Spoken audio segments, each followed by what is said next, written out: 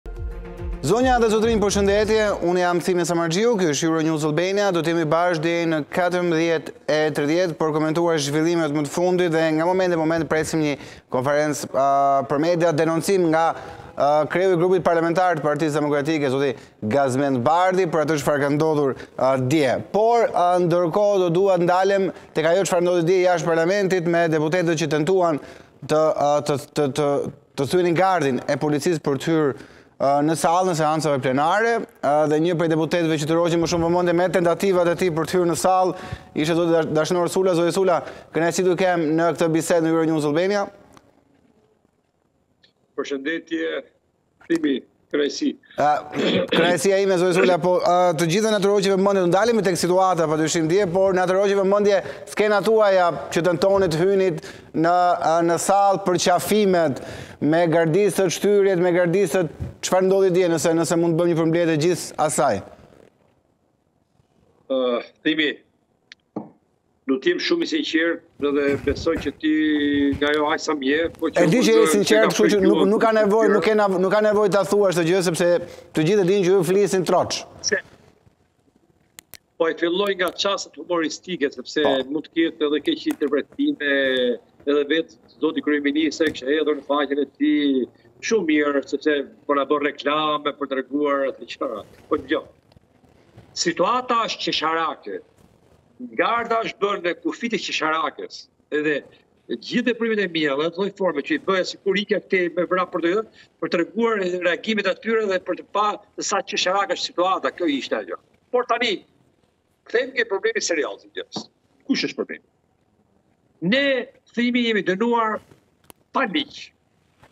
pa rregullore në Kuvendit, sepse kemi një vendim të gjykatës kushtetuese e cila ka shfuqizuar rregulloren e cila u miratua në mënyrë të njëanshme nga opozita. Dhe gjykata kushtetuese ka lënë vetëm një pikë të asaj rregullore ku thotë për rastet ku përdoren mjete piroteknike, domethënë zjarr që rrezikon jetën e deputetëve në sallën e kuvendit, sigurisht që ka masa ekstreme që është 60 ditë deri në 60 ditë për ata deputetë.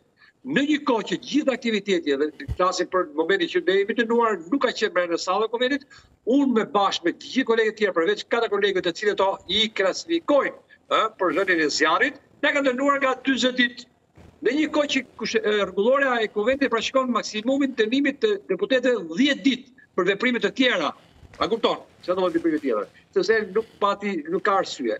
Dhe kjo, kjo tani ë materializohet ose përforcohet më shumë me vendimin e dytë që mori përsëri ë kuvendi komisioni i etikës apo kuvendi që për pagesën e atyre karrikeve, djegien e tyre dy pjesë karrikeve ngarkim 9 milionë lekë gati të vjetra ia vunë vetëm katër deputetëve. Në një kohë që ti kur na dënove të gjithë 24, pse s'ia vure pagesë vetëm katër deputetëve për veprimet e tyre, a kupton? Mhm. Pra nuk ka logjikë. Vazhdo më tutje. Nuk ka logjikë që ti ta militarizosh, ta bukurizosh parlamentin deri te farfeje. Dhe këtë unë e thotë një person, një deputet, i cili ka qenë në mazhorancë 2005-2013.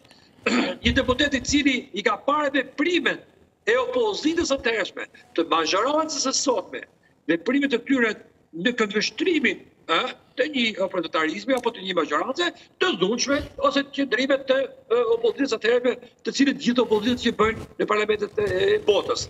Që do të thotë, kanë ka patur thyerje tavolinash, thyerje karrigesh, thyerje vazosh, vuvuzela, bilbila, mbyllje, përmbysje tavolinash e shumë shumë gjëra tjera dhe po ju them dhe sfidoj këdo, janë gjithë kronikat e kohës, nuk është dënuar kurrë më tepër një deputet opozitar më tepër se dhjetë ditë. Dhe në një kohë që gjithë deputetët pavarësisht që dënuar lejoheshin në ambientet e Kuvendit apo në ambientet e parlamentit përveç sallës plenare dhe komisioneve parlamentare. Pra, unë jam dëshmitar i gjallë, kur zoti Berisha ishte kryeministër atëherë, që kishte edhe koka të nxehta edhe brenda nesh, të cilët kërkonin dënimin e atyre deputetëve të opozitës. Por Berisha gjithmonë thoshte do të ulim tensionet, sepse opozita është në hallin e saj, në të drejtën e saj për të patur qëndrime opozitare, për të patur aksione opozitare apo ku do do të shkojë për të arritur misionin e saj. dhe detyrë e mazhorancës që të tregohet më e kujdesshme, më tolerante, që mos bjerë edhe pre e provokimeve të opozitës dhe të jemi më tolerantë. Kurse sot po të shikosh nga dita që kanë harru këta, he, o miku im, këto nuk jam ordi, ju nuk mund të harroni dot skenat e rrahjes me rrip, me grushta, me dajak të deputetëve të opozitës. I kemi parë të gjitha me shkopinj e gjithçka tjetër. A u dënu një herë? Mhm. Pra po. kjo është ajo e cila është paradoksale, humbje e arsyes, sepse përpara se jemi politikanë jemi njerëz, dhe këta e kanë humbur këtë. Këta kërkojnë, o miku im, thonë, na lini rehat, mos na shqetësoni, mos na bezdisni, ne të vazhdojmë, të punojmë,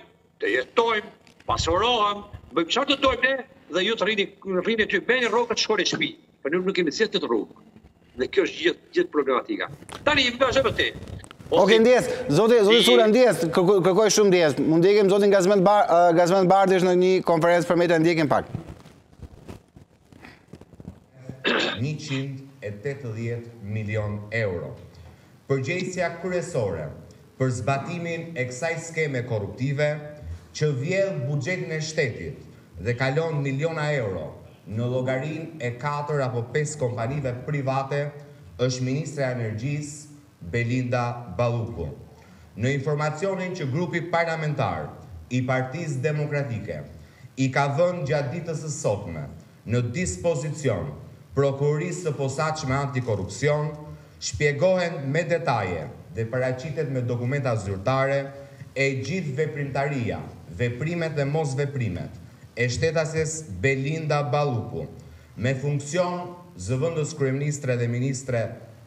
e Energjisë, e cila ka lejuar që energjia elektrike të shitet me humbje jashtë tregut të Bursës së Energjisë, në kundërshtim flagrant me ligjet dhe vendimet në fuqi, duke vjedhur hapur qytetarët shqiptarë. Me vendosjen në funksion të Bursës Shqiptare të Energjisë vitin e kaluar, KESH kishte detyrimin ligjor të tregtonte në bursë energjinë e pakontraktuar, por kjo nuk ka ndodhur. Raportet e Entit të Energjisë provojnë se KESH ka shkelur ligjin vitin e kaluar dhe deri në këtë moment, pasi nuk e ka nxjerrë energjinë e pakontraktuar në bursë, por e ka blerë shtrenjtë dhe e ka shitur lirë tek kompani private seksere të shitblerjes së energjisë elektrike në Republikën e Shqipërisë. Për të folur më konkretisht me disa shifra, po pa hyrë sigurisht në detaje teknike, në mënyrë që skema korruptive të kuptohet sa më qartë.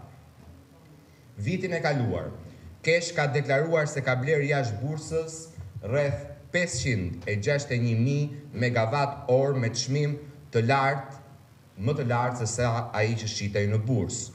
Llogaritjet e ekspertëve zbulojnë se vetëm nga ky transaksion, Ok, jemi rikthyer sërisht, është uh, një denoncim i zotit Gazment Bardhi. Ndërkohë me ne na është bashkuar në studio dhe zoti Fatjon Softa, zoti Softa, faleminderit që u bashkuat, uh, ish-drejtues policie, kënaqësi t'ju kemi në bisedë bashkë me zotin Dashnor Sula, zoti Sula. Ndjekim pak, do kthehem menjëherë tek ju për, për të komentuar atë çfarë ndodhi, por po ndjekim pak çfarë ka thënë ministri i Brendshëm sot nga Shkodra për atë çfarë ndodhi dje. Keqardhje për deputetët e opozitës, të cilët ushtruan dhunë ndaj punonjësve të policisë dhe punonjësve të gardës, që ishin atje për të kryer detyrën. E drejta e tubimit do të garantohet gjithmonë nga ana e punonjësve të policisë, kurse e drejta e dhunës, e djegies, shkatërrimit, goditjes së punonjësve të policisë nuk do të tolerohet. Në deklaratën e Policisë Shtetit të dhënë dje rreth mesditës, është shprehur qartë se nuk ka pasur asnjë tentativë të nxjerrjes së armës nga ana e punonjësve të policisë. Dua të ritheksoj dhe një herë, në Ligjin për tubimet është përcaktuar shprehimisht rastet e përdorimit të armëve të zjarrit. Forcat e Policisë së Shtetit, të cilët kanë qenë pjesë e planit të masave të Drejtorisë Policisë Tiranë, nuk kanë pasur dhe nuk kanë qenë të pajisur me armë zjarri. Zoti Sula, po, po, po, po vijoj me ju, po. Tani, më vjen keq për ministrin e Brendshëm dhe dëshiroj Ka pasur ministra të Brendshëm edhe të tjerë, edhe pa diskutim politik, qoftë zoti Balla, që ka menaxhuar situata, qoftë zoti Çuçi, që për zotin Çuçi ruaj respekt, ë, edhe për ministra të tjerë. Por ky zotëria, të cilin unë e njoh prej 25 vitesh, duket si një kalama i vogël në sjelljen e tij dhe në mënyrën se si flet, edhe pa pikën e turpit, ë, gënjen në mes të ditës sepse ka rënë Këto kanë rënë dy herë vetë në gropë me mënyrën se si bën veprimet. Një deklaratë e këtyre është që gjoja i përfshiu turma dhe kanë hyrë si rastësisht. Kemi një video, ku mund t'jua vë në dispozicion, që ata kanë ardhur kokrrës së qejfit, qetë e qetë kanë hyrë nga ne, nga hyrja matanë tjetër, që ne nuk i dishim fare se si hynë.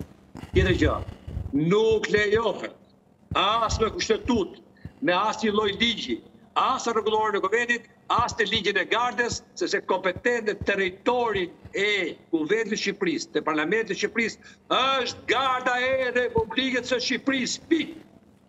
Pik. Këto kanë shkelur, kanë hyrë në territor dhe shkelje e ligjit në mënyrë absolute dhe nuk diskutohet, është një gabim jashtëzakonisht i madh dhe ka përgjegjësi kush ka dhënë urdhrin Dhe kush ka detyruar të hyjnë ato aty? Dhe po e përforcon këtë se dje ajo ajo urrejtja e atyre çunave të partisë ishte aq e madhe se ishte Forca e Ndërhyrjes së Shpejtë për të goditur deputetët sepse ne sa i pamë thamë ke shkel ligjin dhe i thamë largohuni mm -hmm. dhe nuk largoheshin u desh për hir të vërtetës ndërhyrja e e komandantit tokës apo të gardës kush ishin ato personat të cilët i përzinin dhe i detyruan që ata të largohen nga këtu se nuk largoheshin Se jeni kompetenti nga bim me shkelje ligji flagrante i tha. Dhe mbasi u bo debat me ato të gardës u larguan, se nuk reagonin për mos ikur dhe nuk e shtynë deputetët. Kjo ishte e vërteta, kjo qe ngjarja. Dhe ai problemi i armës, tani, prapë po të gënjyen. Prapë ministri i Brendshëm ra brenda vetë, sepse kur nxori një foto, një video, të një punonjësi të policisë, gjoja që ishte ajo sprajtit, ka nuk e dinte që ne kishim filmuar ne. Dhe video jonë është video e cila tregon këllëfin e pistoletës së efektivit të Forcës së Ndërhyrjes së Shpejtë. Ndërsa ato kanë jelekun me me të sprajtin.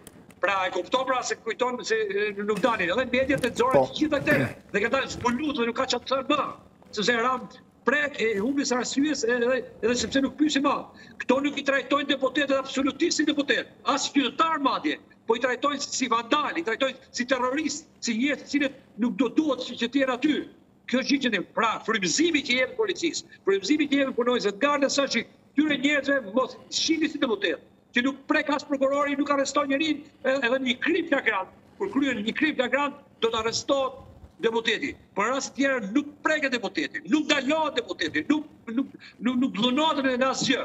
Kurse ato fare nuk i bën përshtypje fare sjellje ndaj deputetëve. Kur ndaj deputetëve ka këtë lloj qasje, këtë lloj sjellje, imagjinoni ndaj qytetarëve të lirë në çdo vend, Nuk okay. ishte rasti i parë, rasti Klodian Rashës, do manipuluan provat. Hoqi pistoletën, ndërruan pistoletën, ndërruan gjithçka, manipuluan aktin e ekspertimit balistik të armës, a ju kujtohet. Okay. Rasti i Pogës, të ndjerit po. Pogën Pogradec përsëri, zhdukën kamerat apo manipuluan provat kjo polici. Pra kjo është ajo e vërteta miku im. Dhe nëse ne do të heshtim, që unë kam zgjedhur të hesht dhe kolegët e mi, ne do ishte një krim që do i bënim të gjithë, do të tradhtonim të gjithë, popullin opozitar dhe të gjithë qytetarët shqiptarë, sepse këto kanë humbur arsyen dhe sjellja e tyre është një arrogancë jashtëzakonisht e madhe.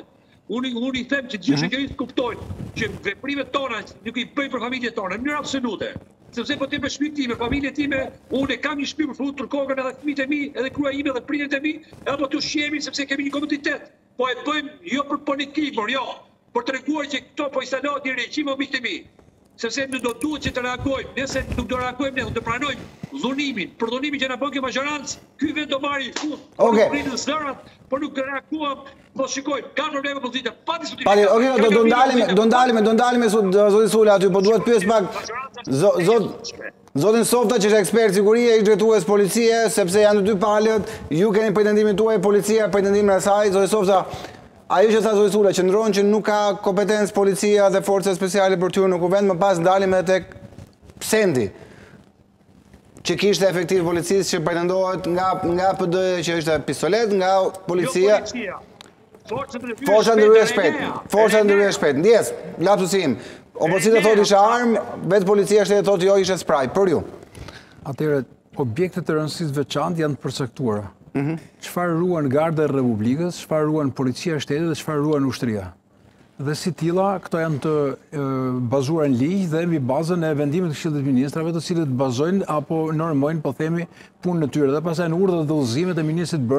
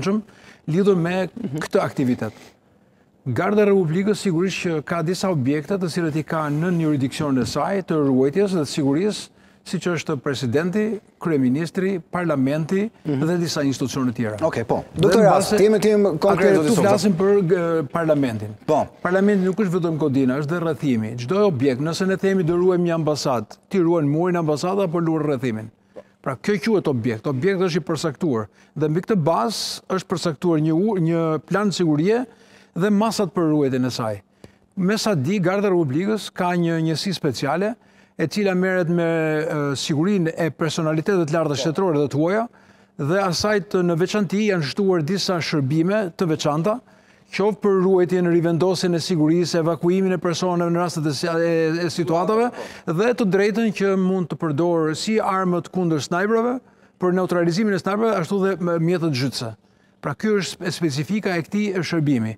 Dhe në raste të tilla ku ka situata, kjo njësi mund të aktivizohet. A mund ta ketë për detyrë dhe policia e shtetit? Po e ka. Edhe edhe ushtria e ka. Po është e normuar në cilat raste dhe në cilat situata. Për shembull. Në situatën e djeshme, po të jem më Atëherë më konciz jemi për situatën e djeshme. E ka Garda e Republikës. Okej. Kaq. Pra, nuk nuk duhet të Por mund të justifikohet vetëm për një gjë, që ka qenë një protestë tek Bashkia e Tiranës dhe spostimi i forcave të strukturës policore me idenë që mund të kemi ndërhyrje, mund të jetë një lloj justifikimi që mund të përdoret ose mund të jetë hapësirë ligjore. Por e marrë në kushtet e normalitetit, rrethimin, mbylljen e kangjellëve, po themi dhe pjesën e brendshme e ka Garda e Republikës. Policia e Shtetit vendoset, ne kemi parë dhe mitingjet, aktivitetet që janë bërë dhe protestat te kryeministria. Mhm. Ku vendosen forcat e policisë, ku janë vendosen forcat e gardës dhe si ata mund të bashkëveprojnë dhe kush mund t'i koordinojë ata në raste të një situate që mund të dalë jashtë kontrollit ose jashtë fuqisë dhe kapacitetit mbrojtës të Gardës së Republikës. A ishte armë për ju ajo apo ishte spray? Nga ajo sa mund... Nuk mund ta përcaktosh dot këtë gjë. Sepse ne kemi parë në shumë raste dhe një gjë që mund të duket si armë, thotë është tjetër dukje dhe tjetër fakti. Atëherë i takon personave të cilët ishin dëshmitarë. Po themi në këtë rast konkret deputetit apo deputetëve, të cilët mund të bëjnë një kallëzim për këtë gjë. Po, ja vetëm një sekond, vetëm një sekond, thjesht ta ta ta përfundoj zoti Softa, po. Bëjnë një kallëzim, duhet të sekuestrohen, duhen marrë pamjet e kamerave të brendshme dhe të jashtme dhe duhet të shkojmë drejt një procesi, po themi, sepse mhm. një palë thotë që ishte armë, një palë thotë po, që ishte spray, Është si ajo loja që u përdor në qoftë se ju e mbani mend, çadrat pistoletave. Po, e kuptoj, po. Zoti Sula, po. Tani, duhet të jemi të qartë me të gjithë teleshikues, teleshikuesit të nderuar të televizionit Euronews. Po. Brenda territorit të aktivitetit parlamentar të gjithë trupës parlamentare të deputetëve, Brenda rrethimit kishte zero rrezik apo zero protestues apo diçka tjetër. Dhe më e bukura, më e forta, më e sigurta dhe ajo që ç'i çjerr maskën këtyre të policisë, të forcës ndërhyrjes shpejt kush i ka dhënë urdhër, ministri apo drejtori i përgjithshëm është kjo që nuk ka patur absolutisht asnjë lloj kërkese apo lloj kërkesa për ndihmë nga ana e gardës, sepse është garda që dëgjuam ne, drejtues të gardës vetë me veshët tonë që i thanë, nuk ju takon ju këtu, jeni gabim, se s'nuk i pa as garda vetë, ishin futur, kishin hyrë aty, dhe në momentin që ne kishim bërë si sa do ishë, kthyem kokët dhe i pashë unë i pari që ishin vendosur aty dhe i thashë, ç'doni ju këtu, forcat speciale, brenda territorit të Kuvendit të Shqipërisë, parlamentit shqiptar, Këtë po themi, ligji i gardës e ka përcaktuar dhe ligji për gardën mhm. rregullorja e Kuvendit, e po. ka garda e Republikës së Shqipërisë. Zoti Softa e sqaroi shumë mirë. Jashtë territorit janë 1 metër për 1 metër ose 1 centimetër nga rrethimi, pa diskutim është autoriteti i policisë së shtetit, ë, apo kujtdo tjetër që të ushtrojë aktivitetin dhe rrugët apo gjëra të tjera. Mhm. Po jo brenda territorit, brenda territorit, këtë po them. Edhe, okej, ju dëgjoj, ju dëgjoj, po. Po themi, jo për përfitim politik që në nderoj ne që i pamë se që, që këto nuk njofin ligj, këto nuk njofin kështu, si shtet, të duan rrugë pa ligj, pa mm -hmm. rregullore, dhe çdo gjë bëjnë, shkelin ligjën. Okay. Këtë e ka demonstruar mërtimi, sepse ky lloj konflikti pse ka ardhur, pse filloi, pse ishte shkaku. Shkaku ishte sepse këto nuk njofin kushtetutë, nuk njofin ligjin, nuk njofin vendimin e gjykatës, vendimin e gjykatës kushtetuse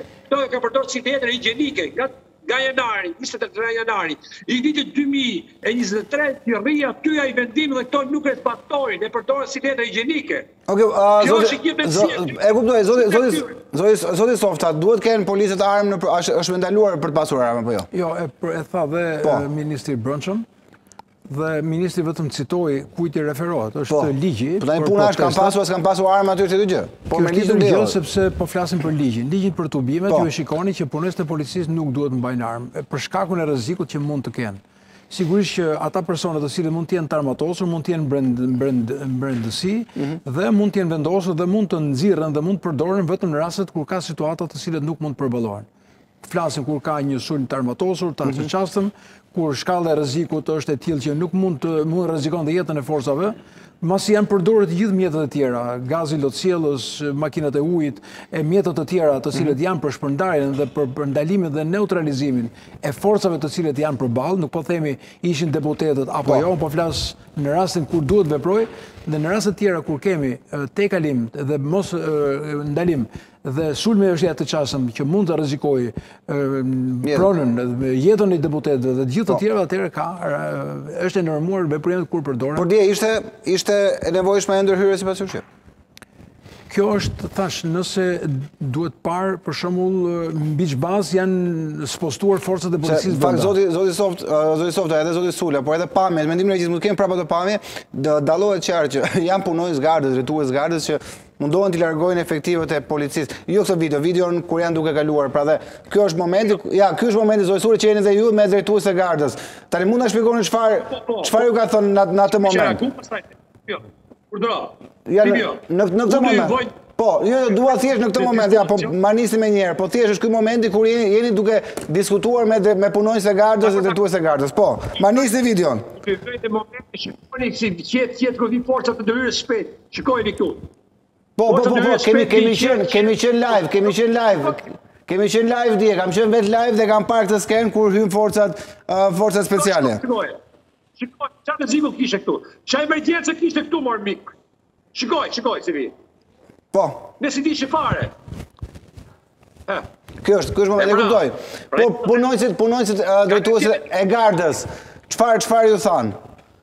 Kur ishit në atë momentin aty që po diskut që po diskutonit dhe u larguan, po.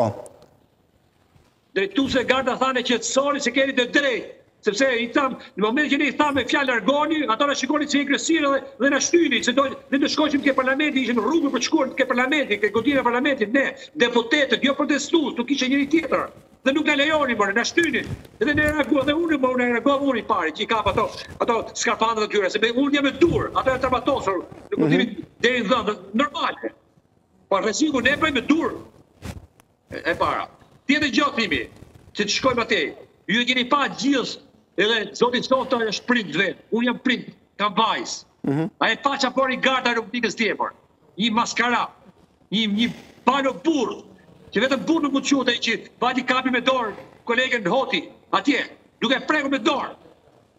Që ligji për gardën e rregullorja apo ligji për gardën e republikës e kanë përcaktuar se ka gra, gardiste, femra, të cilët merren me femra, me gra deputete që kontrollojnë ose i parandalojnë mhm. veprimet e tyre. Nuk ka punë burri gardisti. Ta prekë me dorë. Je dakord me, me këtë shqetësim po? Po patjetër që jam dakord. Ë në qoftë se ka kontrolle që ushtrohen është për bëhet fjalë për zonjën Hoti brenda sallës ku akuzohet ose është hedhur akuzë që ka hedhur lënd lënd kimike, lënd benzina, nuk e di çfarë ka qenë ajo që çfarë akuzojnë zonjën Hoti. Timi, më fal që të pres. Po. Ai peti ministri që veshën Hiç benzin. Manikyr, manikyr. Okej, okej, okay, në rregull, në rregull. Unë tha, unë thashë çfarë akuzojnë, ë? E akuzon mazhoranca se ka hedhur lëndë djegëse, lëndë kimike, nuk e di çfarë ka hedhur. Mbetet për Po. Një trim që të ajo. Oke, cianur. Po, po zë e sobza. Shiko, ashtu si policia e shtetit, e cila ka punësuar mhm. femra në polici, Përdorimi i femrave në polici nuk është vetëm për të drejtat që midis grave dhe burrave duhet të rrisim të drejtat, por lidhur dhe me rastet kur ata përdoren. Nëse do të ushtrosh një kontroll mhm. për armëmbajtje apo për sende të tjera, tek një femër patjetër është femra që e bën kontrollin. Mhm. Prekja e një femre nuk mund të jetë nga një mashkull, do të bëhet nga një femër. Ky është momenti, po mund të, normale që po, nuk është nuk është komode, por ajo ka burrë, ka fëmijë, ka vëlla, ka tjetër, nuk mund të jetë ai ai moment, ajo ajo lloj mënyre e prekjes E para ka imunitet njërë. Mhm. E dyta, edhe prekjet fizike, nuk mund ta prekësh dot një femër. Edhe ndaj një femër nuk mund të qëllosh as me lule. Hmm. Atëherë, në këtë kuptim, themi, ajo që ka ndodhur në polici duhet të jetë dhe në gardë, dhe prezenca e tyre në parlament, në parlament shqiptar duhet të jetë prezente. Ka, ka punonjëse të gardës, zonja, po, vajzë, po, po, po.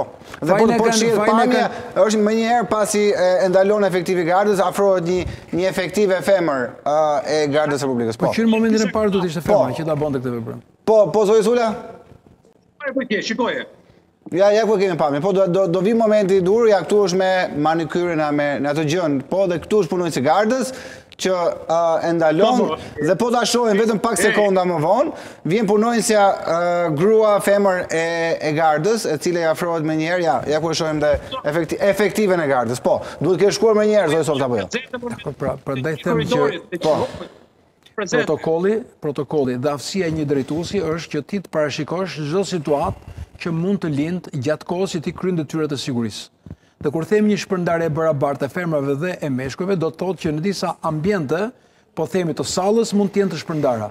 Dhe në rastet ku do të ndërhynte, mund të shpejtonte një femër dhe jo të shpejtojë një mashkull. Pavarësisht se nuk ishim në momentin e po, zjarrvënies. E kuptoj, nuk nuk ishte zjarr, thjesht hodhi. Po, nuk ishte zjarr, çfarë hodhi e dyshuar. Mhm, Sigurisht mund të po. ishte lëndë djegëse, mund të ishte parfum, ata mund të justifikohen me faktin që ishte një situatë emergjente dhe ne ndërhyjmë për ta ndaluar. Apo jo, nuk nuk ka fare justifikim në këtë situatë. është për ta gjykuar pra. Po e kuptoj. Në moment që hedh lëndën dhe nuk e heq po e vendos dhe zjarrin, është tjetër gjë. Në atë rast nuk mund të paragjykosh, presim të jetë femër, mhm. mund të jetë personi më i afërt për të bërë veprimin po, e parë neutralizues. Po zoti Sula, po. Është e tmerrshme more Timi. Është e turpshme. A e kupton që këta dhe si na trajtojnë ne more? Pra ne po të them që ne është turp që më bëri dhe a e kupton dhe nuk i bën syri tërr për asgjë more, tërr, për asgjë more Timi. Mu kjo më irriton more, më irriton më kanë humar sytë more, se se këto thonë mos na prishni gjumin, a linjera, aha, ore ne do bëjmë ç'të dojmë këtu, të heqim që e vejë visin, ju s'duhet të ekzistoni, ma që në një sistem demokratik, ka logjikë tjetër të ruar të bashkëjetosh, mazhorancë, opozitë. Treni i mazhorancës ka një vagon më shumë, apo treni i opozitës një vagon më pak. Po jo mar këto thonë nuk duhet të ekzistojë fare treni i opozitës. Nuk do duhet të ekzistojë fare opozita. Po këto mhm. po ta kenë këto për shpirt, për shpirt, dhe s'kanë frikë ligjin apo kanë frikë njerëzit tanë, këto këto do ta eliminojnë opozitën fizikisht ose politikisht, çfarë do të bëjnë për ta dhunuar për ta bërë fare si opozitë. A e kupton ku ka arrit marrëzia e këtyre.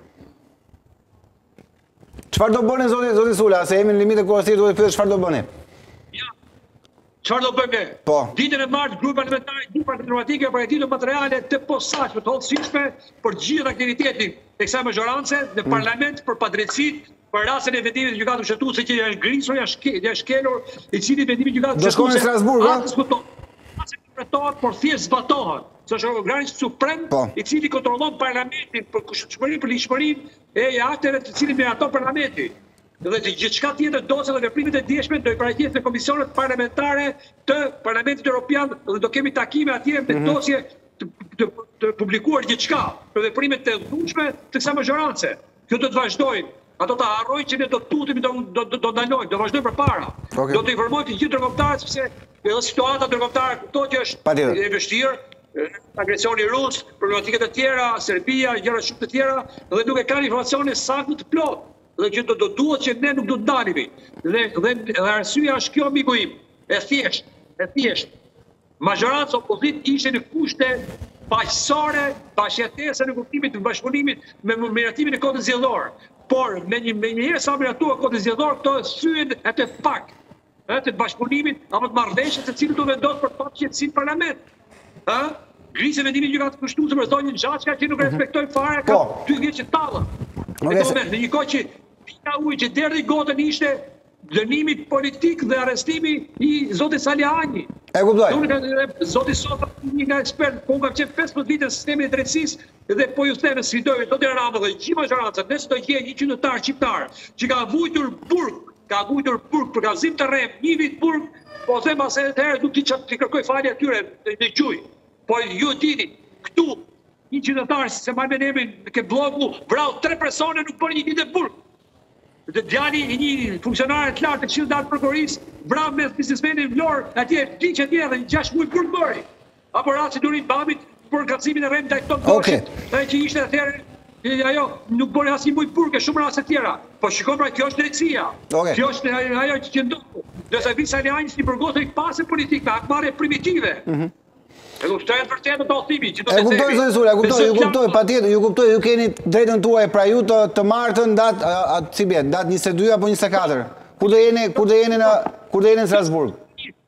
Ça karrige që dogjëm ne në shenjë proteste, po, po, po, mhm. to du të të shqetësojnë për, pa diskutim, është, do kemi dënimin, pa diskutim ta vuajmë, nuk është normale, po këto na kanë djeg kushtetutën, more, kanë djeg kushtetutën, na kanë grisë kushtetutën, kur e bën mazhoranca që nuk pyet se ka fuqinë, dhe mhm. ne duhet t'i ndalim babëzinë e tyre, more, t'i ndalim me arrogancën e tyre, dhe pra ne luftojmë, pra ne qëndrojmë shumë fort, se edhe hall po s'qëndrojmë dhe ne këtu mbaroi fund gjithçka pasaj, se pjesën tjetër e ka nënshtruar të shoqërisë. Në gjithë format, në gjithë mënyrat. E kuptoj. Zoti Sula, shumë faleminderit për kohën tuaj. Mua m'u dhimbs në fakt ajo xhaketa juaj dje se më pëlqeu shumë dhe m'u dhimbs që e dogje xhaketën. Për atë më erdhi pak keq për xhaketën tuaj se ishte shumë e bukur, kështu që Timi, e kuptova në shenjë. Ja, ishte ishte ishte për shaka, ishte për shaka.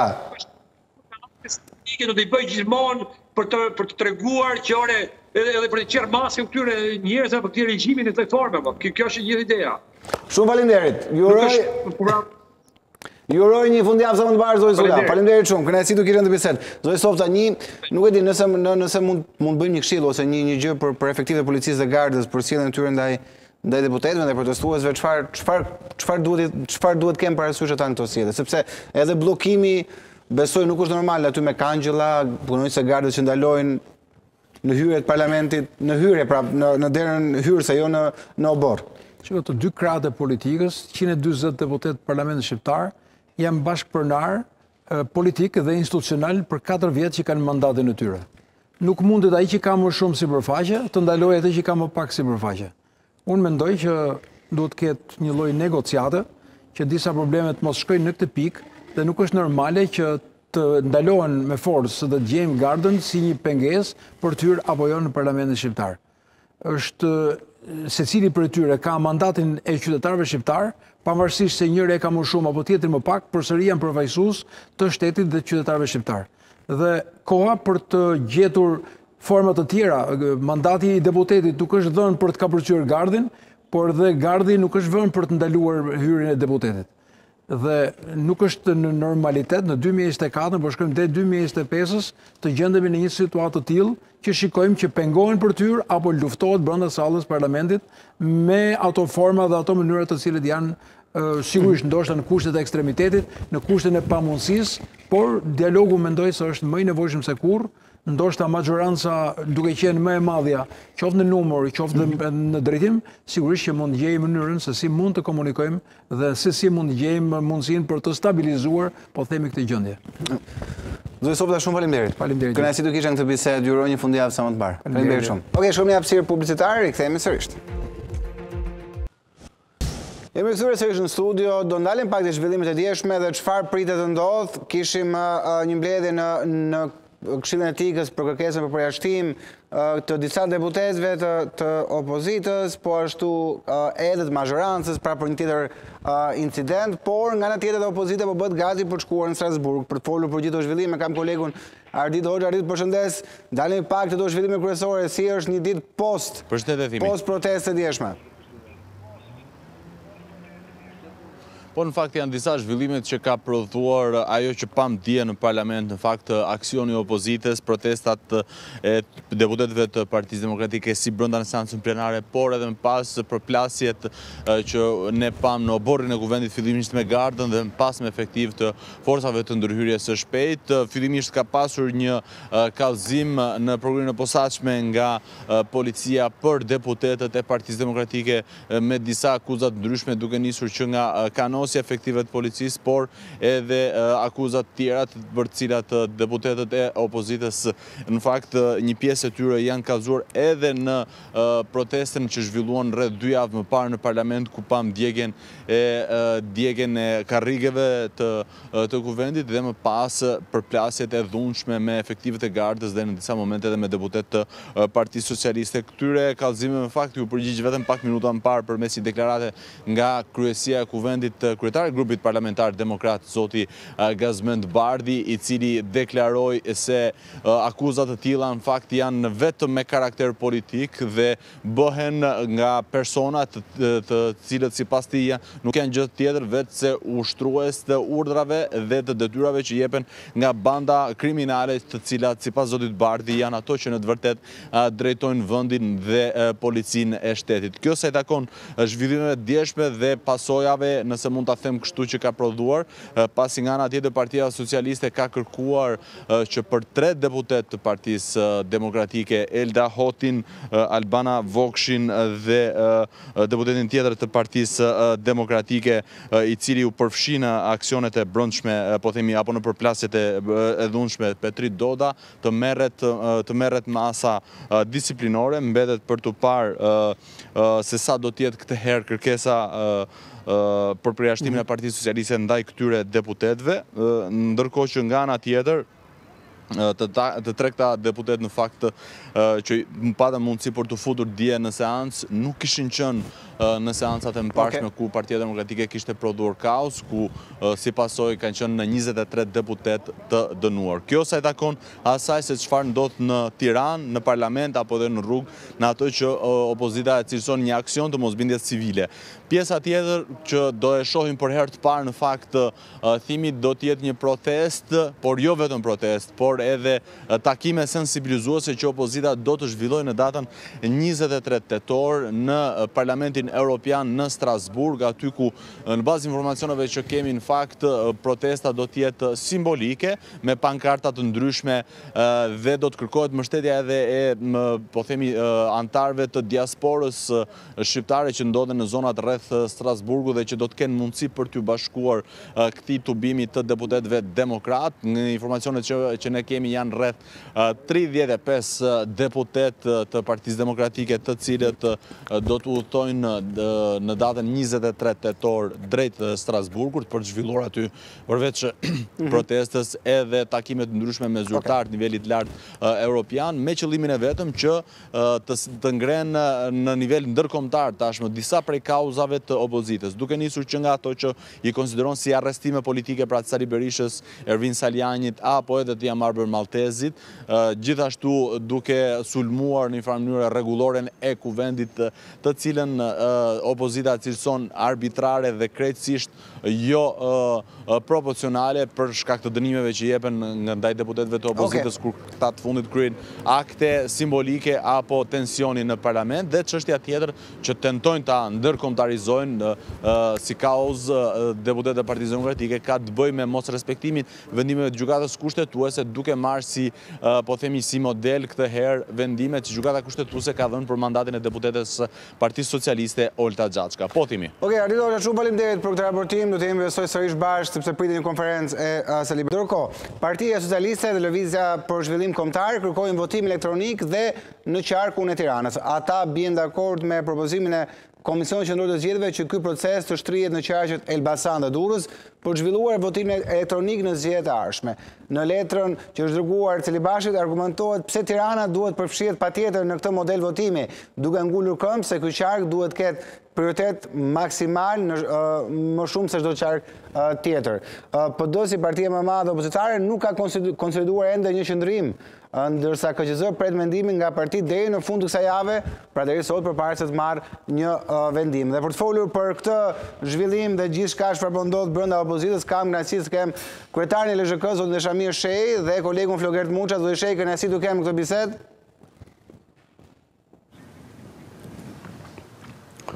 Merci, mirë dita. Faleminderit shumë, Flogert, faleminderit e ty që u bashkove. Po, po, po, po e nis me zotin Shehi. Zoti Shehi, pse kërkoni patjetër që të bëhet edhe në Tiranë votim elektronik? Po të shish, një për logjikën, për logjikën më elementare. Qoftë se një gjë nuk bëhet në Tiranë, ku do u bëka? Kjo është e para herë. Këtu janë mjetet teknike, këtu janë risorset njerëzore, këtu është shumica e deputetëve, si më thënë e numrit mandateve, numri i votuesve, të gjitha janë këtu, të shit, të spostohemi prej qarkut Tiranës, biles aty kishte një nonsens ka ajo letër që ka pru Komisioni Qëndror Zgjedhor, në cilin thote rrethi Durrësit i mbush të gjitha kushtet e këtë atë, Dhe një nga kushtet ishte që është dhe afër Tiranës. Këto që janë afër Tiranës e bën Tirana vetë jo. Kështu që është gëmë të atë Po, kjo është e para punës. Po e dyta është kjo. Tirana përfaqëson një të tretën e qytetarëve tashi si doli me census. I po. vërtet, i pa vërtet, kjo është e para. E dyta është, si të thush, projeksioni më i mirë zgjedhor. Se siç dalin zgjedhjet në Tiranë, dalin në gjithë Shqipëri dhe kjo është një histori tridhjetë e pesë vjeçare tashmë. Qoftë se në Tiranë del dyzet e pesë me pesëdhjetë e pesë, gjithë Shqipëri del po kaq ose del dyzet e katër me pesëdhjetë e gjashtë. Nuk lëviz fare sepse për shumë elementë teknikë që mos i lodhim njerëzit.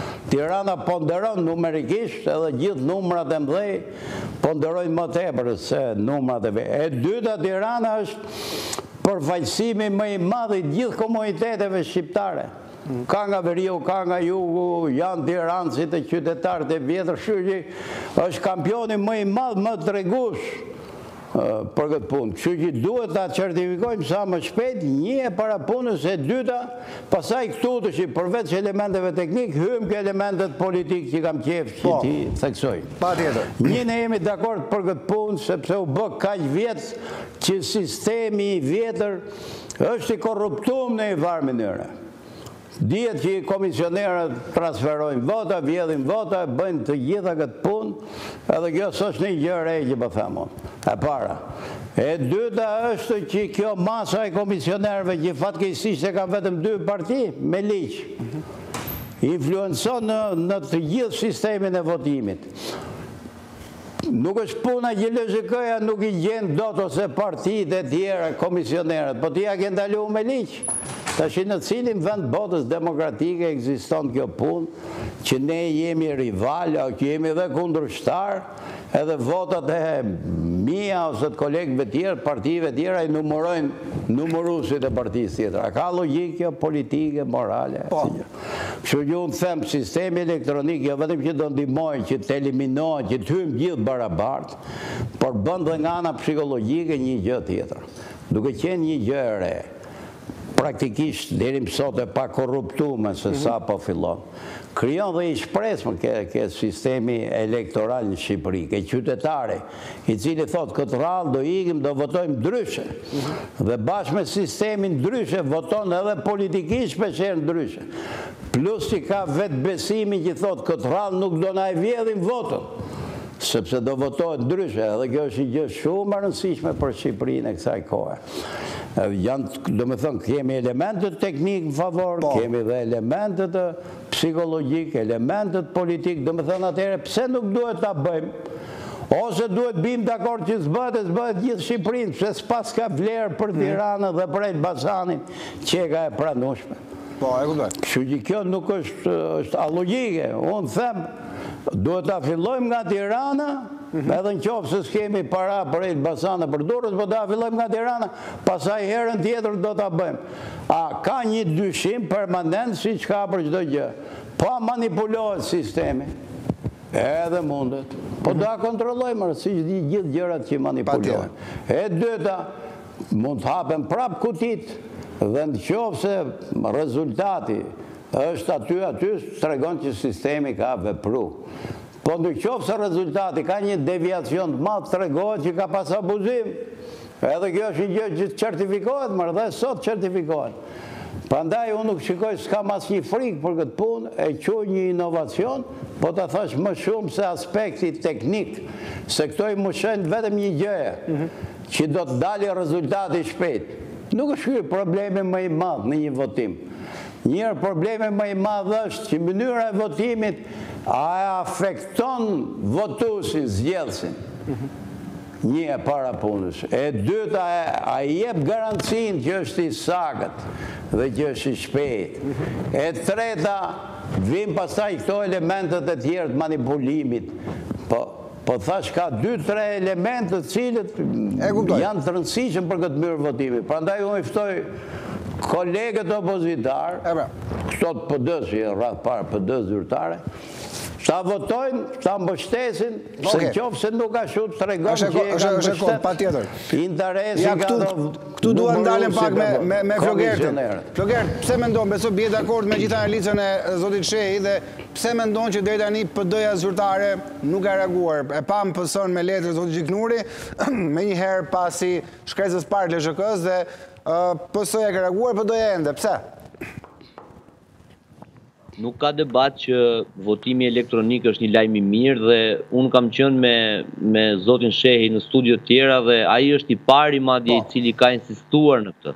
Madje unë i kam thënë që zoti Shehi nuk nuk nuk ndryshon gjë votimi elektronik në kuptimin që tani më është një sistem i ngritur që nuk mund të manipulohet vota pasi hidhet në kuti, por zoti Shehi për gjithë ato motive që tha edhe më lart dhe që bëjnë sens ato politike të paktën përtej atyre teknike, insistonte tek kjo dhe i erdhi dita që me sa duket i doli i doli fjala dhe është konsistent. Ajo që të bën përshtypje është fiks ajo që ju thatë me të drejtë që pse opozita hesht, se në qoftë se do kishte një palë të interesuar, e cila kërkon qeveri teknike, e cila kërkon garancira e kështu me radhë, e cila duhet të ishte me dy duart lart që po duhet votimi dhe numërimi elektronik në Tiranë ku janë tridhjetë e shtatë mandate me shumë mundësi ose më tepër, pse kjo hesht në rastin më të mirë ose nesër edhe mund të jetë kundër.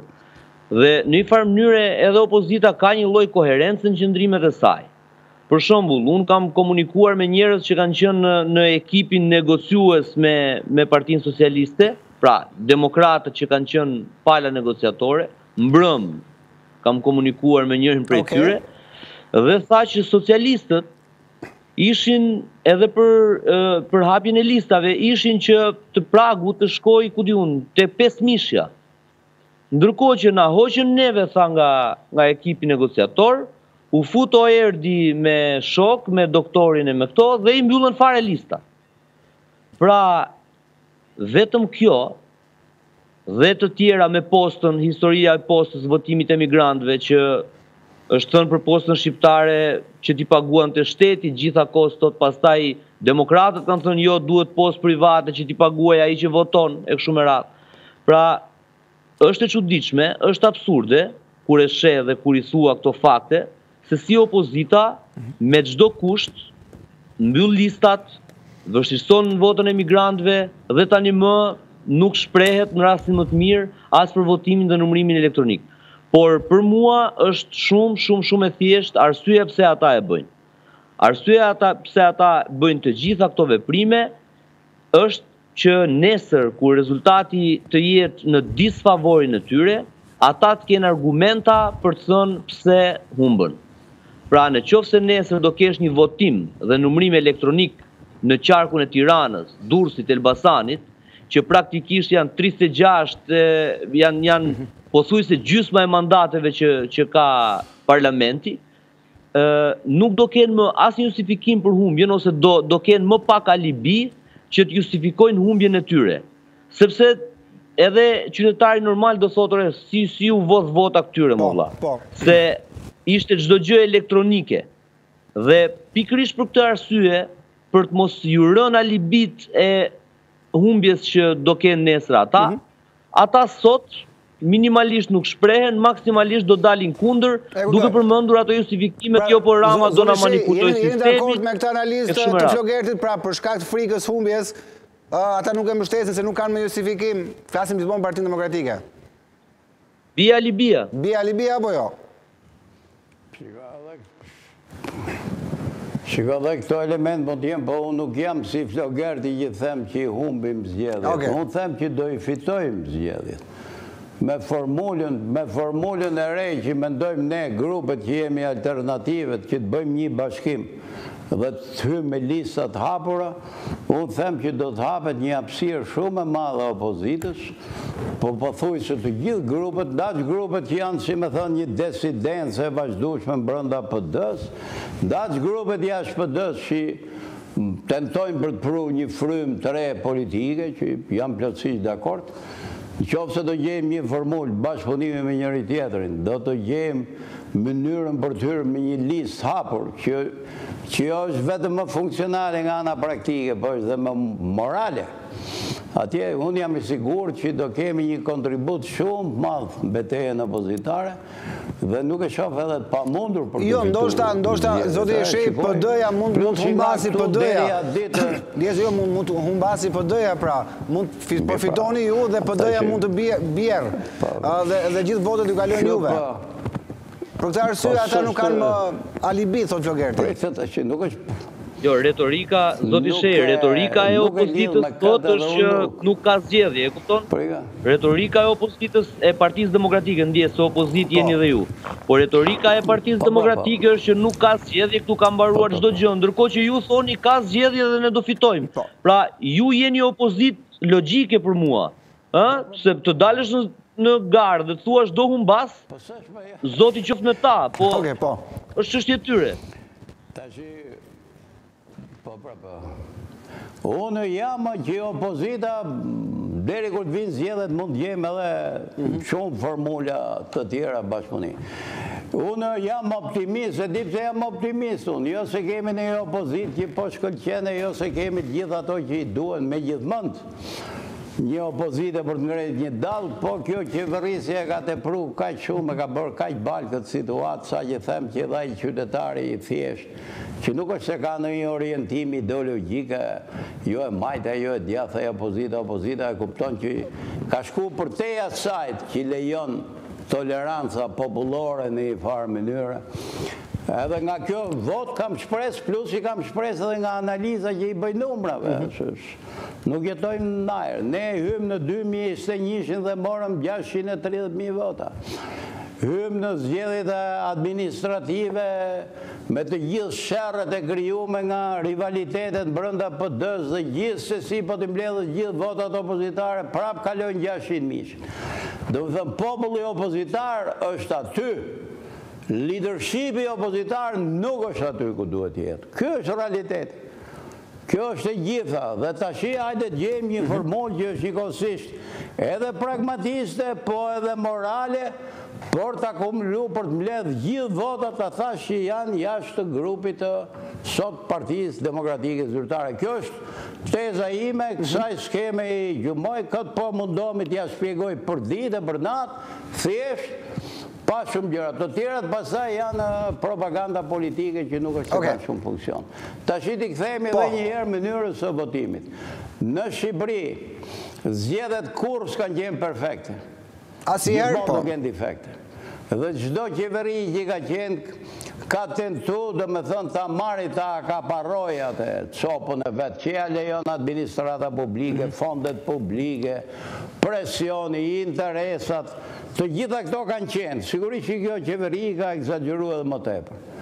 Por unë gjithsesi jam i bindjes që në qoftë se ngrehet një dallgë shprese entuziazmi, interesi për format e reja opozitare, populli opozitar thash është aty dhe nuk është çudi që dali edhe një pjesë e Partisë Socialiste që nuk është se ato socialistët janë të gjithë ato që i marrin paratë publike Ka me mijëra njerëz që bëjnë nëpunësin e vogël, biznesmenin e vogël dhe i ka ardhur ta thash majë të hundës nga kjo lloj qeverise. Kështu që nga kjo pikëpamje unë jam optimist. Sa do jemi të zotë, t'i agregojmë forcat e ndryshme politike, sa do jemi të zotë, prodhojmë, kjo është një çështje tjetër që s'ka të bëjë më shumë me votën si numërohet, Tashi po folqim për këtë punë. Nga këto problemet do ketë, po sido që mund të ketë.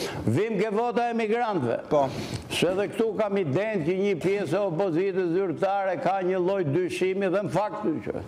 Çfarë do ndodhi në mendimin tim? Unë e quj një sukses që po votojnë emigrantët. Është një trupë elektorale më e kualifikuar se kjo e Shqipërisë. Pse është më e kualifikuar? Po sigurisht që jeton një ambient më demokratik atje, një. E dyta është më e pavarur nga çështjet ekonomike.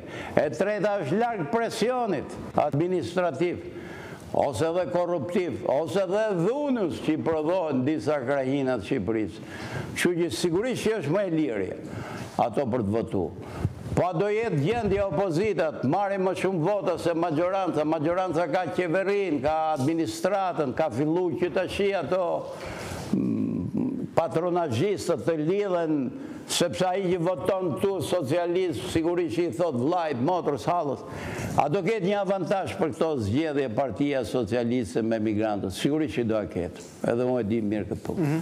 Sepse ky është hapi i parë që po bëhet. Po, a ia vlen që ne të jemi refraktarë ndaj procesit vetëm se Partia Socialiste, Edi Rama, me mitingjet e veta, me administratën, me shintalliqet e veta, do marrë nja pesë, gjashtë mijë vota më shumë se opozita nga ajo trupa elektorale atje që është nëpër botë e... Po. Po, po s'ja vlen mërë, le t'i marrë ato okay. pesë. Këto janë zgjedhjet e para, do kenë defektet e veta. Po mbas dy vjetëve nuk votojnë më ato për Edi Ramën, se e kuptojnë që i gënjeu. Por Shqipëria çfarë fiton në këtë mes? Po, fiton. Fiton me mijëra shqiptarë po. që do interesohen më shumë për Shqipërinë, që votojnë në mënyrë më logjike se shqiptari i Shqipërisë. Okay.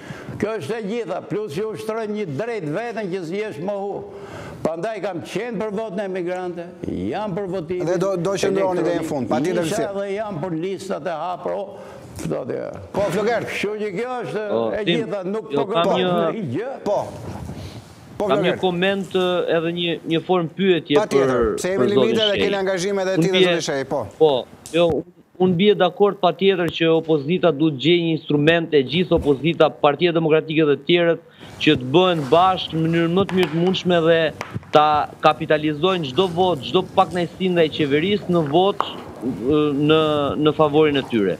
Ajo që mua më shqetëson dhe dua ta pyes zotin Shehi si do si zgjidhet është po më po, është aritmetikë, që t'i mbledh votat e LZHK-së e doktorit, të Alibeajt, të Lapajt por nga ana tjetër unë të votoj ty Dash, ndjesë se po të drejtohem kështu sepse ti nuk je si Sali Berisha pra po të jetë për të votuar Sali Berishën që i thotë SPAK-ut organizatë kriminale edhe që thotë ato që thotë unë votoj atë mo pra po shkove të bashkohesh me doktorin. Unë nuk ta jap më votën. Se unë ta jap ty, se të njoh për burrë të mirë e burrë të ndershëm edhe që mbështet sa procese që i shërbejnë vendit. Po po u bashkove me atë? Po flas për si mendon një votues. Nuk janë të gjithë, është dhe frymë, nuk është vetëm aritmetikë, e kam fjalën. Po, po, po, po më duket se s'më pas ke kuptu, se këtë thash unë. Unë thash që do votohen, do bashkohen të gjithë ato që nuk identifikohen më me grupin e Berishës, me rithemelimin. Për këto po flas unë, që skema politike të thjeshtohet, si më thënë, të ketë dy opozita, një që është kjo, e vjetra po i themi dhe një kjo e reja. Po të jetë ashtu si thu ti, e gjitha kjo që bëjmë pastaj është hipokrizi. Se më mirë hyn nga dera kryesore si burrat sesa të futesh nga penxherja.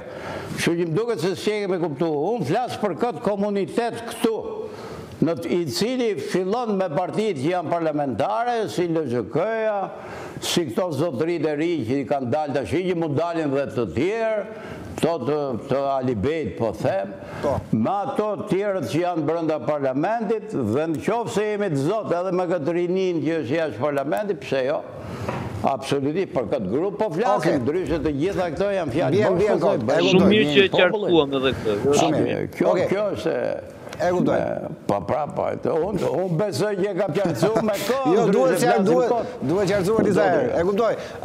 Zoti Shehi ka ndonjë pyetje të fundit? Ka ndonjë pyetje të fundit në në 1 minutë, nëse mund thoni për skenat në parlament, jashtë parlamentit? Po. Shiko, jo, se gjithë ditën këtë punë kam bërë, sot e dje. Unë jam për këtë edhe po jua them edhe juve, po do më shumë se një minutë, e do dy. Oke. Unë jam që javën tjetër ai komisioni i etikës që është atje, të mblidhet dhe t'i heqi dënimet. Jo këto dënimet e reja, po të heqi dhe ato të vjetrat, se nuk ka logjikë që gjysmën e opozitës ti e nxjerr me një vendim jashtë parlamentit. Iku, e para. Pse, ato dogjën karriget, paguajnë karriget, duhet të hyjnë në parlament. Nuk është shkollë riedukimi parlamenti, që i korrekton njerëzit, ty dënon gjashtëdhjetë ditë, ty njëzet ditë. Që domethënë, që ai komision, domethënë partia socialiste praktikisht, se ato i kontrollojnë numrat, duhet ta pranojë këtë punë edhe ato zotëritë vijnë në parlament. Pastaj ato që nuk duan të vijnë, tregojnë që edhe ato kanë skemën e vet politike, që nuk është puna kjo, nuk është një betejë për t'u fut në parlament për të thënë të vërtetat tuaja, po që e ka një mundësi për të gjetë një formë të re lufte po e quajmë. A di pse po them, pashë zotin Bardhi tash, që po mbante nga parlamenti një deklaratë kundër korrupsionit në energji elektrike. Shumë mirë. Edhe gjë shumë e rëndësishme dhe bravo i qoftë. Po po e thonte nga parlamenti, pse e thotë nga parlamenti? Se parlamenti është arma më e madhe që ka opozita sot, le të thonë çfarë të duan ato, që dalin atje që bëjnë kot zhurmë. Parlamenti është, prandaj ato të partisë socialiste duhet t'i rikthehen vendimeve që kanë marrë me shumicë, këto zotërit e tjerë të mos ta shfrytëzojnë tensionin për të mos hyrë në parlament, se parlamenti është fushë arene, është fusha ku luajmë të gjithë, luaj edhe unë, po, luajnë dhe kolegët tjerë që janë alternativë shpeshherë me opozitën. Dhe kam frikë që këto e bëjnë këtë punë që të mbyllet rruga për tjerët. Jemi vetëm dy grupe, thonë. Partia Socialiste, PD-ja, ne mm. jemi luftëtarët, të tjerët janë vëzhgusit. Mirëpo Partia Socialiste po i kalon ligjet e veta. atje. Prandaj më bë qejfi ta thash që ai zoti Bardhi e jipte konferencën nga parlamenti. Po, jo nga selia, po. Prandaj sot në mëngjes nuk mund ta shash parlamentin, prit, dhe n'darkë të shkosh me. Po. E dyta, t'i kthehemi edhe një herë SPAK-ut. Ku po i çonte ato letrat zoti Bardhi? Ke SPAK-u. Po qoftë se ti në mëngjes çon letra ke SPAK-u dhe n'darkë do i thuj SPAK-ut organizatë kriminale, nuk i bën ndonjë dëm të madh SPAK-ut. I bën dëm opozitës se tregon që nuk ka seriozitetin e duhur shtetformues, nuk është e pregatitme për qeverisje në të nesmen. E izolon edhe nga faktori ndërkombëtar. A e patë që shkoi ajo e Amerikës dje atje? Pse ka shku atje? Ka një shenjë të mirë dhe i shenjë të keqe. Shenja e mirë është që shkon t'i mbështesë deri në fund ato. Po shenja e keqe është që ato zotëritë paskan nevojë për mbështetje. Pse? Se s'e kanë mbështetjen e politikës, as Partisë Socialiste, as të zotërive, gjysmës së Rithemelimit, edhe sigurisht nën një presion politik, nuk është se merren vendime siç duhet. edhe vendime drejtësie. Prandaj unë këto quaj gjëra të rëndësishme. Prandaj i ftoj kolegët e parlamentit të hekin dënimet për opozitën, e ftoj atë grup opozitar t'i kthehet jetës parlamentare serioze me debat, nuk i pengon kush të bëjnë demostrata. Po parlamenti ta thash është gjysma e trupës opozitare, jo në Shqipni, por në gjithë botën. Oke, Flogert 30 sekonda. Shumë i qartë, shumë i qartë. Flogert, 30 sekonda se kaluar të limit. Jo, ajo, ajo që ndodh në në parlament është tërësisht në shërbim të Edi Ramës, mm -hmm. sepse Edi Rama atë do që t'u thotë shqiptarëve ja kush është alternativa në kuptimin e narrativës dhe të komunikimit dhe nga ana tjetër i shërben vetëm një funksioni, marrjes me çdo kusht të ekskluzivitetit të opozitës, siç tha në fakt zoti Shehi. Pra, për të bllokuar axhendën e publikut dhe për t'i thënë publikut që këtu ka dy palë, mhm. Edi Rama dhe Sali Berisha. Të tjerët janë spektatorë, siç e tha zoti Shehi dhe Për mua këtë të dytën e kanë arritur, ndërsa të parën e arrin vetë Rama, kështu që... Okej, Flokert Muçe dhe Shemir Shej, shumë faleminderit të dyve, kënaqësi të kisha në këtë bisedë, ju uroj një fundjavë sa më të bukur. Faleminderit. Shkojmë në hapësirë publicitare, rikthehemi sërish. Avokati Gent Gjini, i autorizuar nga familja Fatona Irizit, ka depozituar padi në Gjykatën Themelore të Prishtinës ndaj kryeministrit Albin Kurti, varësit e tij Besnik Bislimi dhe ndaj deputetit Arbër Rexhaj, për përdorim sipas tij të gjuhës ofenduese dhe të urrejtjes. Avokati ka deklaruar se fjala kriminel, me cilën u etiketua i ndjeri Hajrizi, i ka shtyrë të bëjnë këtë padi. Dhe për të folur për këtë temë, në fakt e iniciuam dhe dje, por patëm probleme me profesor Nexhmedin Spahiun, të cilin e kam sot, profesor, kënaqësi t'ju kem sërish, shpresoj gjithçka të funksionojë sot, se dje kishim disa probleme. Rikthehemi sërish te kjo temë. Padia e avokatit të familjes së Faton Hajrizit, Çfarë do të thotë për ju kjo kjo padi ndaj Albin Kurtit përdorimi i fjalës kriminel? Po tani ekziston një kod kur mund të përdoret fjala kriminel, domethënë duhet të jesh i dënuar nga një gjykatë e shkallës së e gjykatë e apelit për Domethënë që ajo është vendim përfundimtar për t'u cilësuar si si kriminel dhe kjo sa i përket rastit në fjalë ë njeriu ka mbajtur ë 20 e kusur vite burg, domethënë për ë dënime të plotfuqishme, kështu që Kjo nuk ka aspak të drejtë, domethënë që të dhe asnjë gjykatë nuk e ka pohuar të kundërtën. Domethënë cilësimi nuk është që është bërë i pabazë. Pse bëhen akuza, pse sistemi i drejtësisë te ne është goxha kot, kjo është tjetër muhabet. Pastaj sepse përpjekjet tani është kohë fushate dhe përpjekjet janë për të hedhur gurë e dru mbi kryeministrin në mënyrë për ta rrëzuar nga nga pushteti. E kuptoj, por profesor na bashkohet dhe avokati, Gent Gjini, avokati që ka depozituar padin. Avokat, kënaqësi t'ju kem në këtë bisedë, besoj e dëgjuat profesor Nexhmedin Spahiun, i cili tha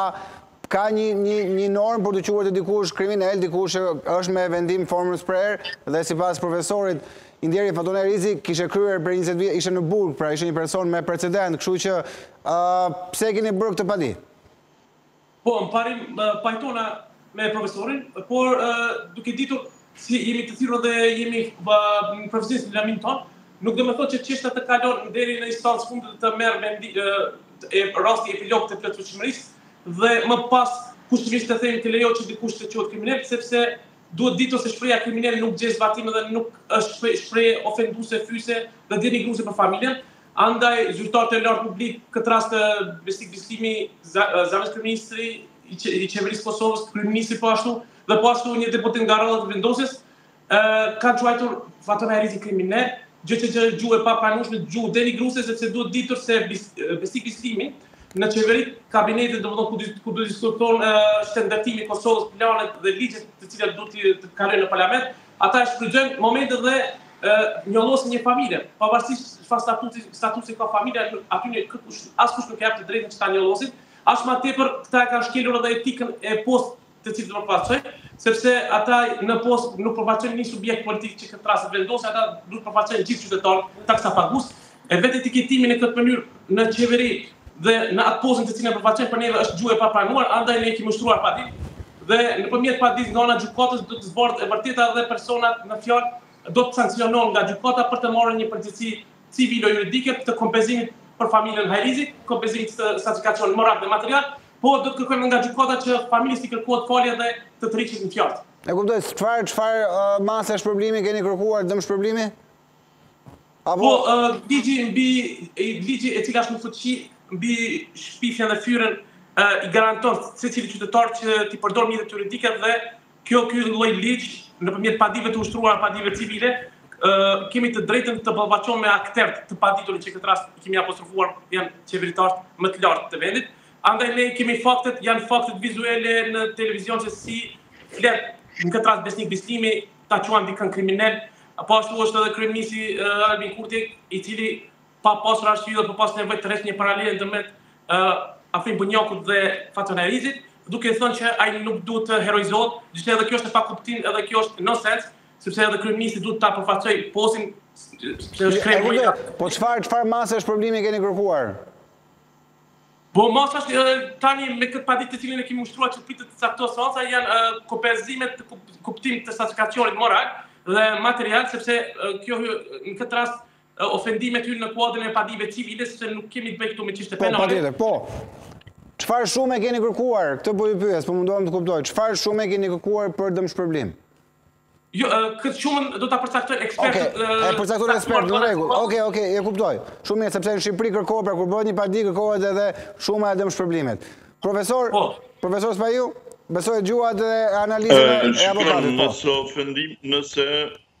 nëse është përdorur fjala kriminel për familjen, mhm. domethënë sigurisht që atëherë padia do të kishte drejt, por nëse është përdorur për personin, i cili ka qenë me dënim të formës së prerë, atëherë besoj që nuk nuk qëndron, të paktën kështu gjykoj unë.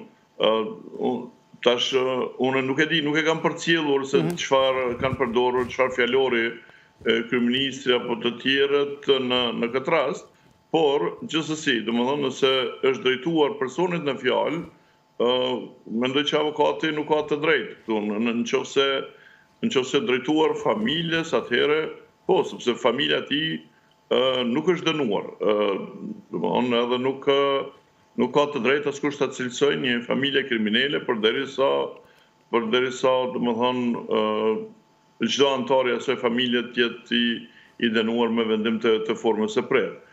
Ë më kurse kë më krahasimi sigurisht sa i përket ë aktit heroik natyrisht Afrim Bunjaku është një hero, domethënë atë sepse ka mbrojtur interesat kombëtare të vendit, ka sakrifikuar jetën e tij dhe po mos ishte sakrifica e tij, sot një pjesë e Kosovës nuk do të ishte Kosovë dhe shumë kolegë të tij do të ishin të vrarë, do të ishin të robëruar, pikërisht sakrifica e tij ka bërë që që domethënë të jetë kështu një rezultat i tillë çfarë të jetë të jetë një fitore e plotë në rastin e Banjskës dhe akoma më tepër institucionalisht, domethënë nga ana e Presidentes së Kosovës është shpallur hero Ajo që ka të drejtë, domethënë institucioni i Presidencës e ka të drejtën ligjore që të shpallë dikë hero apo jo, në ndërkohë që nëse dikush shpallet kriminel ose jo, shpallet nga ana e një gjykate kur merr formë të prerë. Avokat, po, diçka për të kundërshtuar me analizën e profesorit? Po, pa dashur të interferoj, sepse në këtë panel, sigurisht profesori është i lamisë historike, domethonë, profesor doktor, një zdi, në fatë disipline, ka edhe përfaqëson mhm. postin, domethonë, profesor është, po, unë sa di nuk është jurist,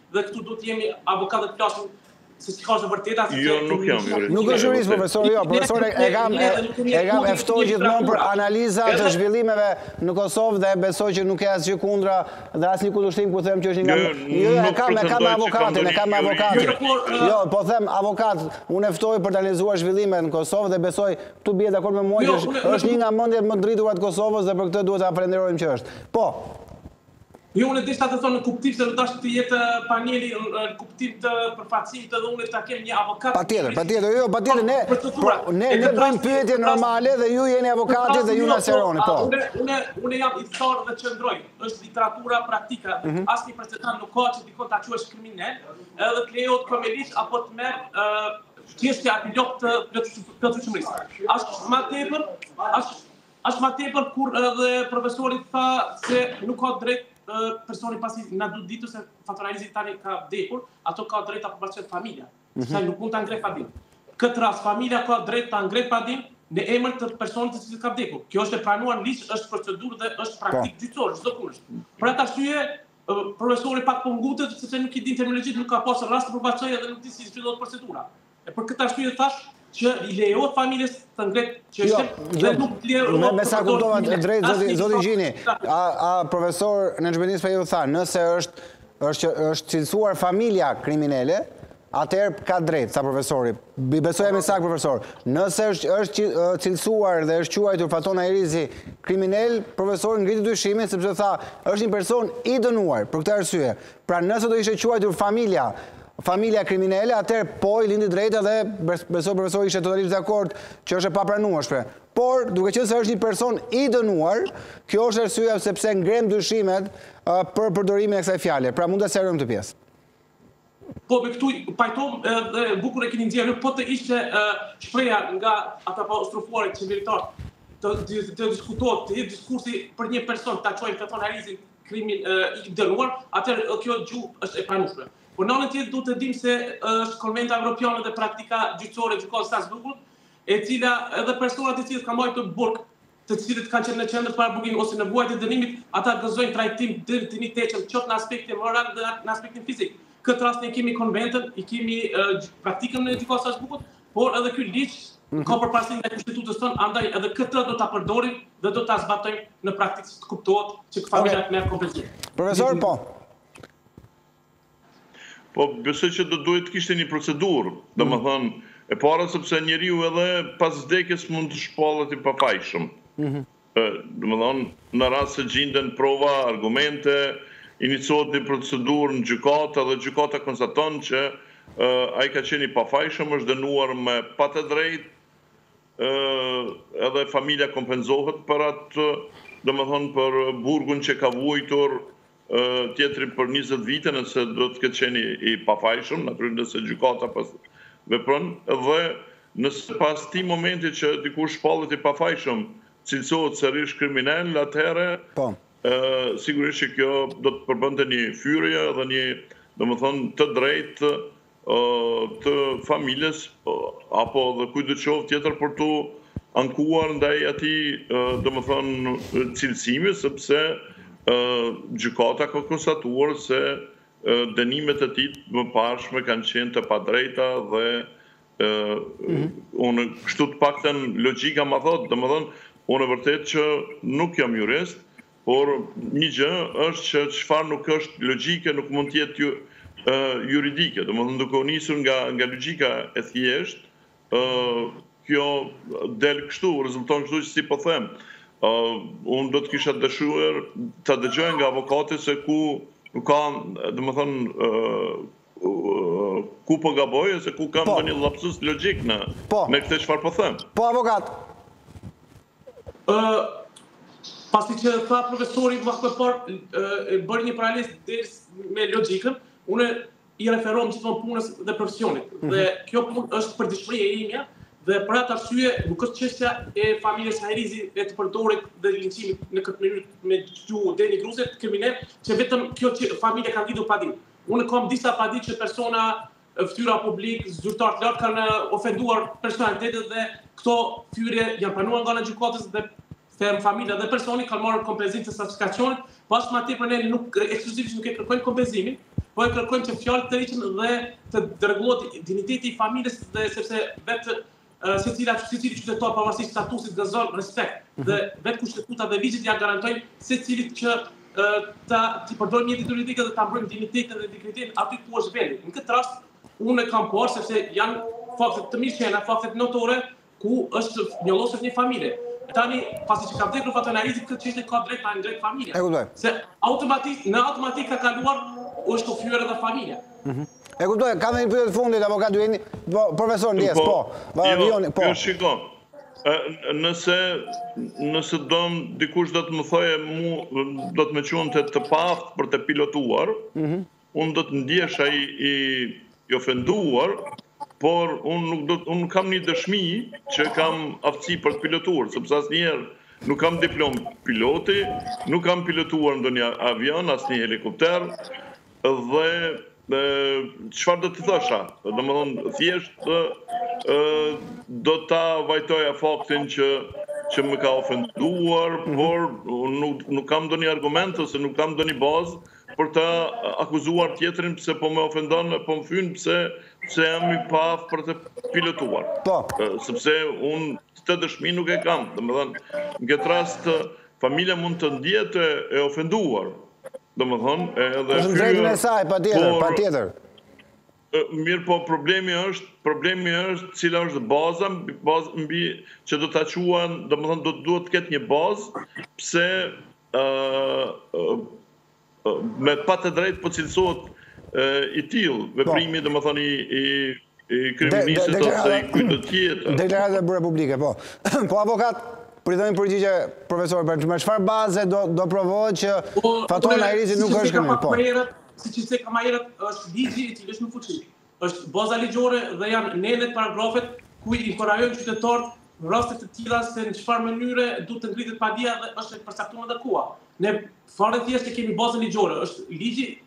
e cila e cila e garanton secilit qytetar që fare thjesht dhe pa pasur njohuri juridike bazike mund ta lexon ligjin dhe mund t'i referohet bash ligjit në fuqi që ta ushtrojë padinë. Atëherë baza ligjore është procedurat janë, padia është parashtuar dhe duke përdorur edhe praktikën gjyqësore ne gjithmonë e kemi edhe konventën evropiane ku do të vërtetojnë gjërat dhe sigurisht Familja, familja do të do të do t'i kthehet dinjiteti dhe sepse po do të kuptohet uh, terminologjia kriminale nuk është përdorur nga persona të rëndomtë, është përdorur nga zyrtarët e lartë publik. Këtë rast kryeministri, zëvendës kryeministri Besi Bislimi edhe të tjerë, të cilët në një qeveri, në një mbledhje të qeverisë kabinetit ka shfrytëzuar postin dhe ambientin që ta quajnë një familje kriminale. E kuptoj, avokat, shumë falimderit, profesor Spahiu, shumë falimderit, po, kishe një gjë për të shtuar, avokat, po, ndjesë, se mos të ndërpreva. Falimderit dhe ju, falimderit shumë, profesor, falimderit, kënaqësi t'ju kisha në këtë bashkëbisedim, pa dyshim do jemi sërish me profesor Nexhmedin Spahiun për të folur edhe për temat e sigurisë në Kosovë, ndërkohë kemi një zhvillim të fundit, vetëm pak minuta më farë, më parë ishim duke diskutuar me Dashamir Shehin dhe Flogert Muçën lidhur me propozimin për votim elektronik, Në disa qarqe kërkesa kjo e bërë nga ana e LZHK-së për t'u përfshirë edhe Tirana në qarqet për të votuar e në mënyrë elektronike, por kemi një përgjigje zyrtare nga Partia Demokratike. Partia Demokratike është shprehur kundër votimit elektronik. Mungesa në zbatim e garancive që ligji u jep zgjedhësve për të verifikuar votën dhe anuluar atë, mungesa e mekanizmave që garantojnë verifikim të thelluar dhe transparencë, gjithashtu minuan besimin e zgjedhësve, subjekteve zgjedhore dhe publikut në një proces që kërkon besim, për sa më sipër në kushtet kur ende nuk është bërë një transparencë e plotë lidhur me problematikat të cilat kanë karakterizuar këtë proces në dy zgjedhjet pararendëse, në mungesë të mekanizmave efikase të adresimit të problematikave të konsideruara, të të konstatuara, si dhe në presionin e një kohe të pamjaftueshme për një implementim implementim efikas të kësaj teknologjie në zgjedhjet e ardhshme, shprehim mosdakordësinë tonë lidhur me propozimin tuaj për implementimin e votimit elektronik në zgjedhjet për Kuvendin e vitit dy mijë e njëzet e pesë. Pra, Partia Demokratike është kundër gjithë procesit të votimit dhe numërimit elektronik në gjithë Shqipërinë dhe jo vetëm në disa qarqe ku Partia Socialiste dhe LZHK kishin kërkuar të përfshiheshe Edhe Tirana përveç Durrësit edhe Elbasanit, ndërkohë që Partia Demokratike është tërësisht tërësisht kundër këtij procesi. Pra ky ishte zhvillimi i fundit lidhur me atë çfarë ka deklaruar Partia Demokratike vetëm pak minuta pasi këtë temë e diskutuam në studio. Ndërkohë dua të ndalem në një tjetër zhvillim pasi një takim shumë interesant Pritet të ndodhë në datë në datë 29 tetor, media greke Tovima shkruan për një vizitë në Shqipëri të disa eurodeputetëve, mes të cilëve dhe Fredi Beleri. Gjatë vizitës në Tiranë, thuhet se grupi i eurodeputetëve përfshirë edhe Fredi Belerin, do të zhvillojë një takim me kryeministrin Rama, takim me kryeministrin është parashikuar të jetë dyzet e pesë minuta, në vizitën treditore në Tiranë do të takohen edhe me kryeparlamentaren Elisa Spiropali. Takimi është parashikuar të mbahet 29 tetor në orën 10, pra Tovima shkruan që Fredi Beleri pritet të takojë Edi Ramën, do jetë një takim shumë interesant ky. Gjithsesi ky edhe ky ishte një zhvillim i fundit, por duhet shkojmë në pak publicitet, do rikthehemi me tjera gjëra. Ok, kalojmë menjëherë në selinë e Partisë Demokratike, ku është duke mbajtur konferencën e përjavshme Sali Berisha me kolegët gazetarë. Sepse krimi i organizuar shqiptar nuk është vetëm një problem shqiptar. Sepse telefonat e krimit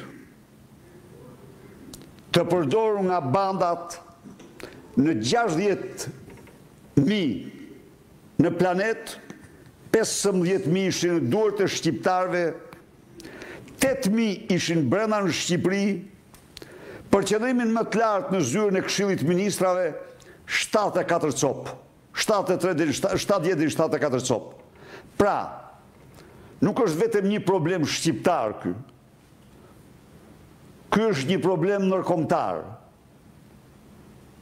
Është çështje vullnetit, për t'u përballë dhëmb për dhëmb me mafien dhe për të triumfuar mbi të. Kur të shihni ju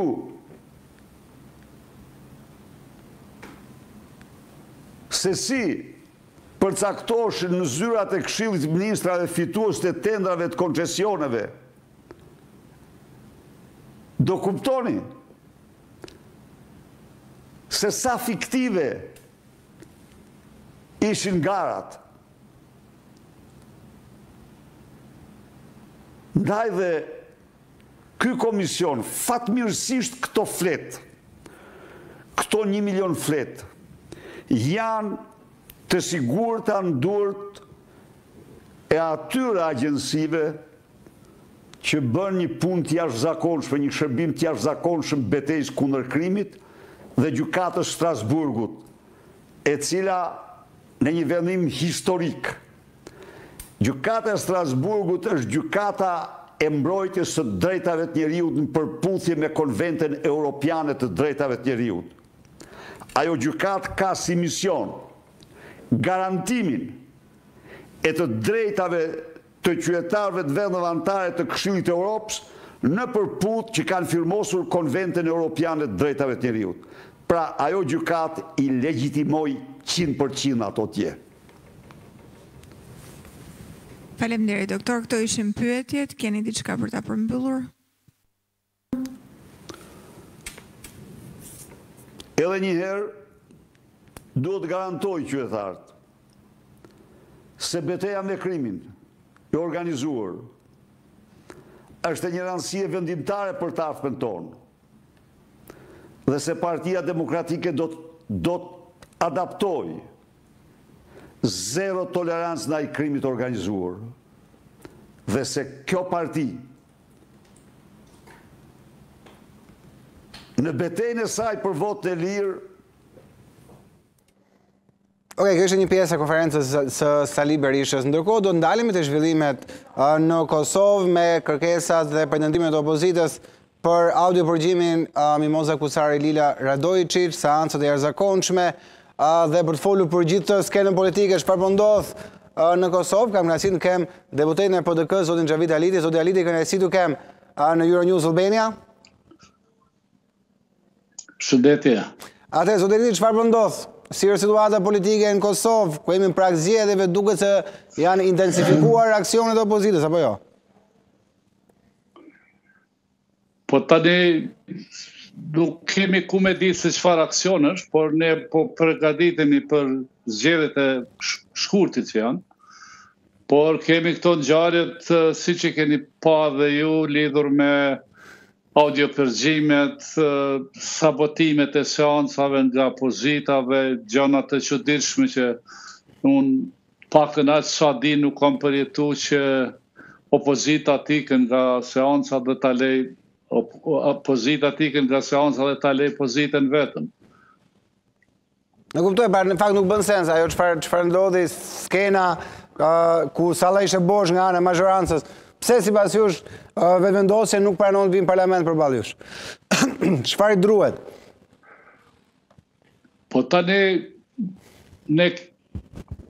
mediat kanë lajmëru, kanë nxjerr disa audio përgjime të bëra nga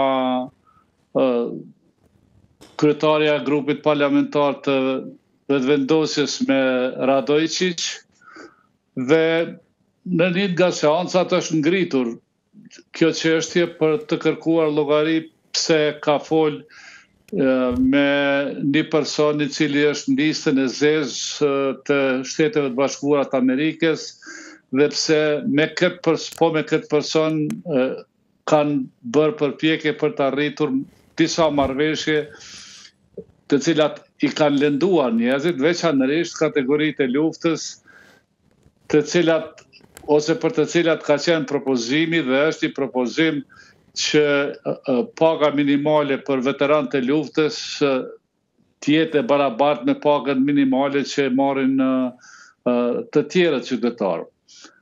Kjo ka qenë nisma, pastaj kanë dalë edhe disa video incizime të cilat ajo thotë që janë janë mashtrim, tha ditën e parë, pastaj ditën tjetër tha që unë kam biseduar, por nuk, nuk është ashtu siç janë prezantu në media, sepse ka ndërhyrje në bisedën që ajo e ka bërë me Radojçiç. Kjo ishte, dhe ishte, ishin ca biseda të cilat i ka bërë kjo Këshilltare, këshilltare ose një qarta shefe koordinatore e grupeve të veprimit në Vetëvendosje, zonja ajo Zonja Mihali, po. Dajana. Dejona Mihali, po. Po. Dejona Mihali dhe po e akuzon për korrupsion opozita. Tani ajo ka qenë para disa ditëve e ka marrë në pyetje prokuroria dhe ne s'kemi informata lidhur me këtë mhm. çështje. Kjo është një farë fush, në qoftë se, në qoftë se konsiderohet fushatë, por është një përpjekje për t'u ballafaqu me, me realitetin. Ndërkohë pashë dhe, dhe një lajm lidhur me një reagim të gjithë opozitës ndaj RTK-së, çfarë keni me, me RTK-në? Po RTK-ja zakonisht ka transmeton gjithmonë seancat e kuvendit dhe i transmeton në programin e parë, pra programin që është më i shikueshëm edhe edhe në Kosovë dhe në diasporë. Por meqenëse kishim debat për këto çështjet që i thashë më parë, ata me urdhër e kanë e kanë nxjerr transmetimin në programin e tretë. Mhm. E kuptoj, ka qenë një, një aktivitet lidhur me krimet e luftës mhm. në Kosovë dhe organizuar nga shoqatat e krijuar apostafat për këtë çështje, por është dashtë që ai ai aktivitet të transmetohet dikun tjetër në një nga programet ose në RTK 3, por RTK njëshi me qenë i rezervuar për gjithmonë për parlament. E kuptoj. Kjo ka qenë e kuptoj, pra, e kuptoj, e kuptoj qëllimin e protestës, po, po, po, po. Por, zotë Elin, duke ndalur pak te kjo situata në, në vend, tek ajo çfarë po ndodh, po në veri, tek dialogu, Nuk e di çfarë, si e shihni gjithë këtë, çfarë çfarë po ndodh këto javë të fundit? Duket një qetësi, një qetësi ë situata, apo jo? Po tani mendoj mas mas ardhjes së shefit ose drejtorit të CIA-s në vizitë në Kosovë dhe në Serbi dhe në Bosnjë e Hercegovinë, duket që pak a shumë në dukje nuk ka veprime konkrete të cilat të cilat do të ishin shqetësuese për rrezikimin e paqes në rajon dhe në Kosovë. Prandaj nuk nuk e shoh të mundshme ndërprerjen e veprimeve që ka pas në projekt Serbia. Mhm. Ata janë afru afër kufinit, kuptohet janë afër kufinit të Kosovës dhe po thojnë që ushtria po e run pyllin, sepse kosovarët po i prejnë drutë, po hyjnë në territorin e Serbisë dhe po prejnë dru. Është çështje e tyne, ça bëjnë ata mrena territorit të tyre, por kemi pas disa ngjarje të vogla në të cilat policia e Kosovës ka ndërhy dhe domethanë ka kontrollu këto komunat të cilat janë paralele me komunat në Kosovë dhe veprojnë në veri, kanë kontrollu dhe kanë gjetë armatime prapë në disa shtëpi dhe në disa baza, por nuk ka veprime të cilat kanë shqetësuar opinionin këto javët e fundit. Sidoqoftë ata, ata po besoj që Kanë projektet e tyre dhe me qenë se me qenë se po përpiqen të jenë të jenë në unison me, me politikat edhe të Rusisë, edhe të bashkimit evropian tani, me qenë se edhe, edhe mjetet e ndara për Ballkanin duhet të shfrytëzohen, besoj që kjo ka ndikuar që të bjen pak tensioni. Ju kuptoj, por duke parë gjithë çfarë ndodh, duket sikur gjithçka Zoti Aliti është në funksion të nëntë shkurtit, pra gjithçka çfarë ndodh tani është në funksion të asaj date, zgjedhjeve në Kosovë. Çdo gjë që bëhet, duket sikur ka vetëm një qëllim, po- pra nuk bëhet asgjë për të zgjedhur një situatë të momentit, për t'i ardhur në ndihmë diçka që duhet ishte bërë më parë, po bëhet sepse janë zgjedhjet. Por afërsisht është kjo, zgjedhje, por tani ne kemi zgjedhjet me nëntë shkurt dhe unë pak a shumë nuk e kam para nuk e kam idenë se çfarë do të do të bëjnë komuniteti serb në Kosovë, a do të marrin pjesë në zgjedhje dhe kush do të marrë pjesë në zgjedhje, a do të do të kërkojë Serbia që ata të mos marrin pjesë për të kriju zbrazëtira në funksionimin e institucioneve dhe të zbatueshmërisë së Kushtetutës së Kosovës, sidoqoftë është diskutabile se si do të përfundojnë zgjedhjet me pjesëmarrjen e komunitetit serb apo pa pjesëmarrjen e tyre. E kuptoj, por... Neve të gjitha partitë po. janë, janë në aktivitet duke, duke pozita, opozita në pozicionet e veta, siç dihet në krejt botën, tani po presim që, që vërtet të Kemi një frymë normale të organizimit të zgjedhjeve, një frymë edhe parazgjedhore edhe gjatë zgjedhjeve të mos ketë probleme, kjo është me rëndësi për Kosovën, dhe pas zgjedhjeve po shpresoj që do të ketë lëvizje, mhm. do të ketë lëvizje edhe në drejtim të marrëveshjeve të mundshme me Serbinë edhe të marrëveshjeve të mundshme me komunitetin serb që është këtu në Kosovë. A po bën opozita zoti Aliti aq sa duhet në këtë fushatë për për t'iu kundërvënë vetëvendosjes, pra a janë në a është në nivelin e duhur opozita që po bëhet nga nga partitë që janë në krahun opozitar? Apo duhet diçka ekstra, diçka më shumë?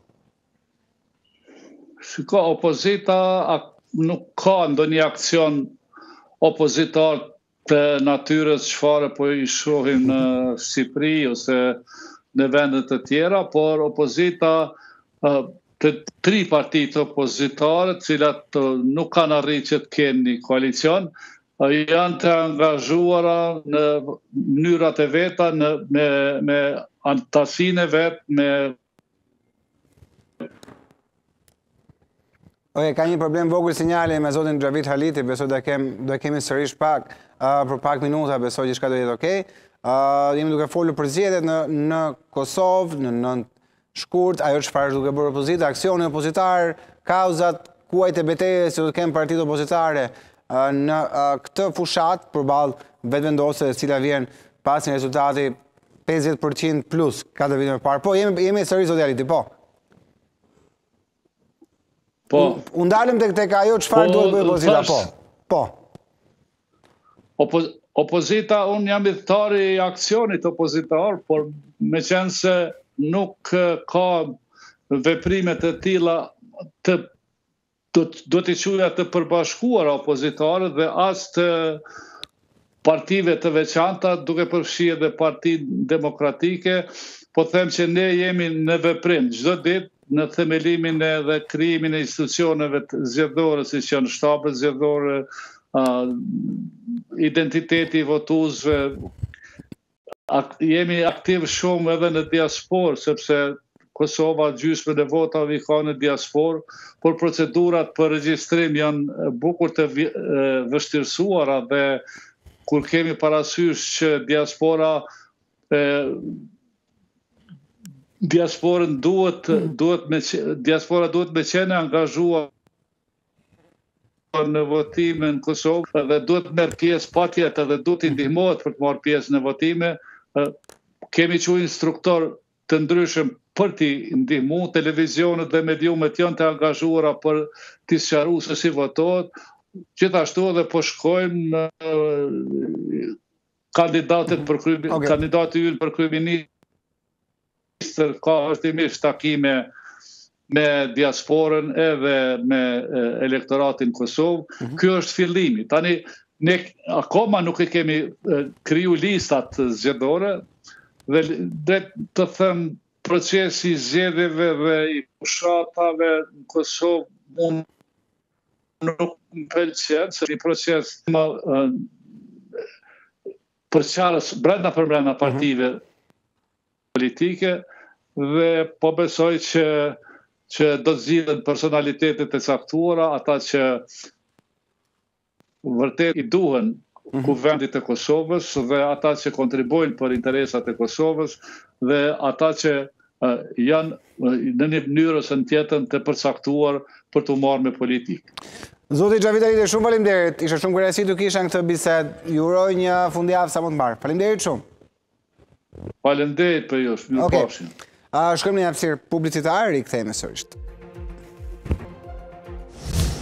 Policia e Elbasanit ka dalë dje me një njoftim zyrtar për rastin e një mësuesi të shkollës nëntëvjeçare të Jagodinës, fshat i Bashkisë së Elbasanit, i cili dyshohet se ka kanosur shtetasin Ismail Kasa, pasi pretendon se ky i fundit i ka prishur imazhin mësuesit. Konflikti mes mësuesit dhe prindit ka ndodhur pasi mësuesi pretendojnë se sillej jo profesionalisht me nxënësit në klasë, duke ushtruar ndaj tyre presion psikologjik të vazhdueshëm. Për të mësuar më shumë lidhur me këtë rast, kam kolegen Elira Xheri në Elbasan. Elira, të përshëndes. Na trego pak më shumë lidhur me këtë rast. Të përshëndes Timi, është një rast sa i vështirë, aq edhe delikat, mësuesit janë sjellë jo profesionalisht me nxënësit dhe kjo ka bërë që prindërit e nxënësve të një shkolle në njësinë administrative në Jagodinë të ankohen dhe të kenë pasur konflikte të vazhdueshme me mësuesin me iniciale IK tridhjetë e katër vjeç në qytetin e Elbasanit. Kjo ka bërë që herë pas here pavarësisht ankesave të nxënësve tek prindërit e tyre dhe ata të shfaqnin ankesa edhe tek mësuesit apo drejtoria e shkollës dhe pasi nuk është zgjidhur asgjë kanë arritur deri tek konflikti. Një shtetas është konfliktuar me mësuesin 34 vjeçar dhe ka arritur deri në përdorimin e lëndës, dyshohet që ka qenë benzinë, por nuk dihet saktësisht nëse ka arritur të jetë benzinë apo jo. Megjithatë policia e Elbasanit është duke punuar për të zbardhur të plotë ngjarjen. Ajo që duhet theksohet është fakti që shtetasi 34 vjeçar me profesion mësues nuk është sjellë korrektësisht me nxënësit duke i bullizuar, duke ushtruar dhunë psikologjike ndaj tyre, por edhe edhe duke u sjellë jo korrektësisht dhe kjo ka bërë që edhe herë pas here fëmijët të ankoheshin tek prindërit. Pas ankesave dhe konfliktit që shtetasi tridhjetë e katër vjeçar pati me një nga prindërit e nxënësve në këtë shkollë, Zyra Vendore e Arsimit në Elbasan mori vendimin për ta pezulluar mësuesit nga detyra, ndërkohë që bëhet me dije se disa muaj më parë Zyra Vendore e Arsimit në Elbasan e ka ndërruar, është detyruar t'i ndërrojë shkollën tridhjetë e katër vjeçarit po për të njëjtat pretendime. Nxënësit dhe mësuesit apo prindërit e asaj shkolle pretendonin që mësuesi kishte sjellje jo korrekte dhe për këtë arsye zyra vendore i ndryshoi shkollën duke e çuar në shkollën e Jagodinës, e cila rezultoi që edhe një herë tjetër të kishte po të njëjtat sjellje jo korrekte duke arritur deri në konflikt verbal apo edhe fizik me prindërit e shkollës në Jagodinë. E gjithë kjo është duke u hetuar nga policia dhe gjithçka i ka kaluar prokurorisë së Elbasanit për të bërë zbardhjen e plotë të ngjarjes. për faktin se ka pasur një kanosje kundrejt një shtetasi, por edhe për sjellje jo korrekte ndaj nxënësve dhe mënyrën jo korrekte që një mësues duhet të sjellet me nxënësit e tij.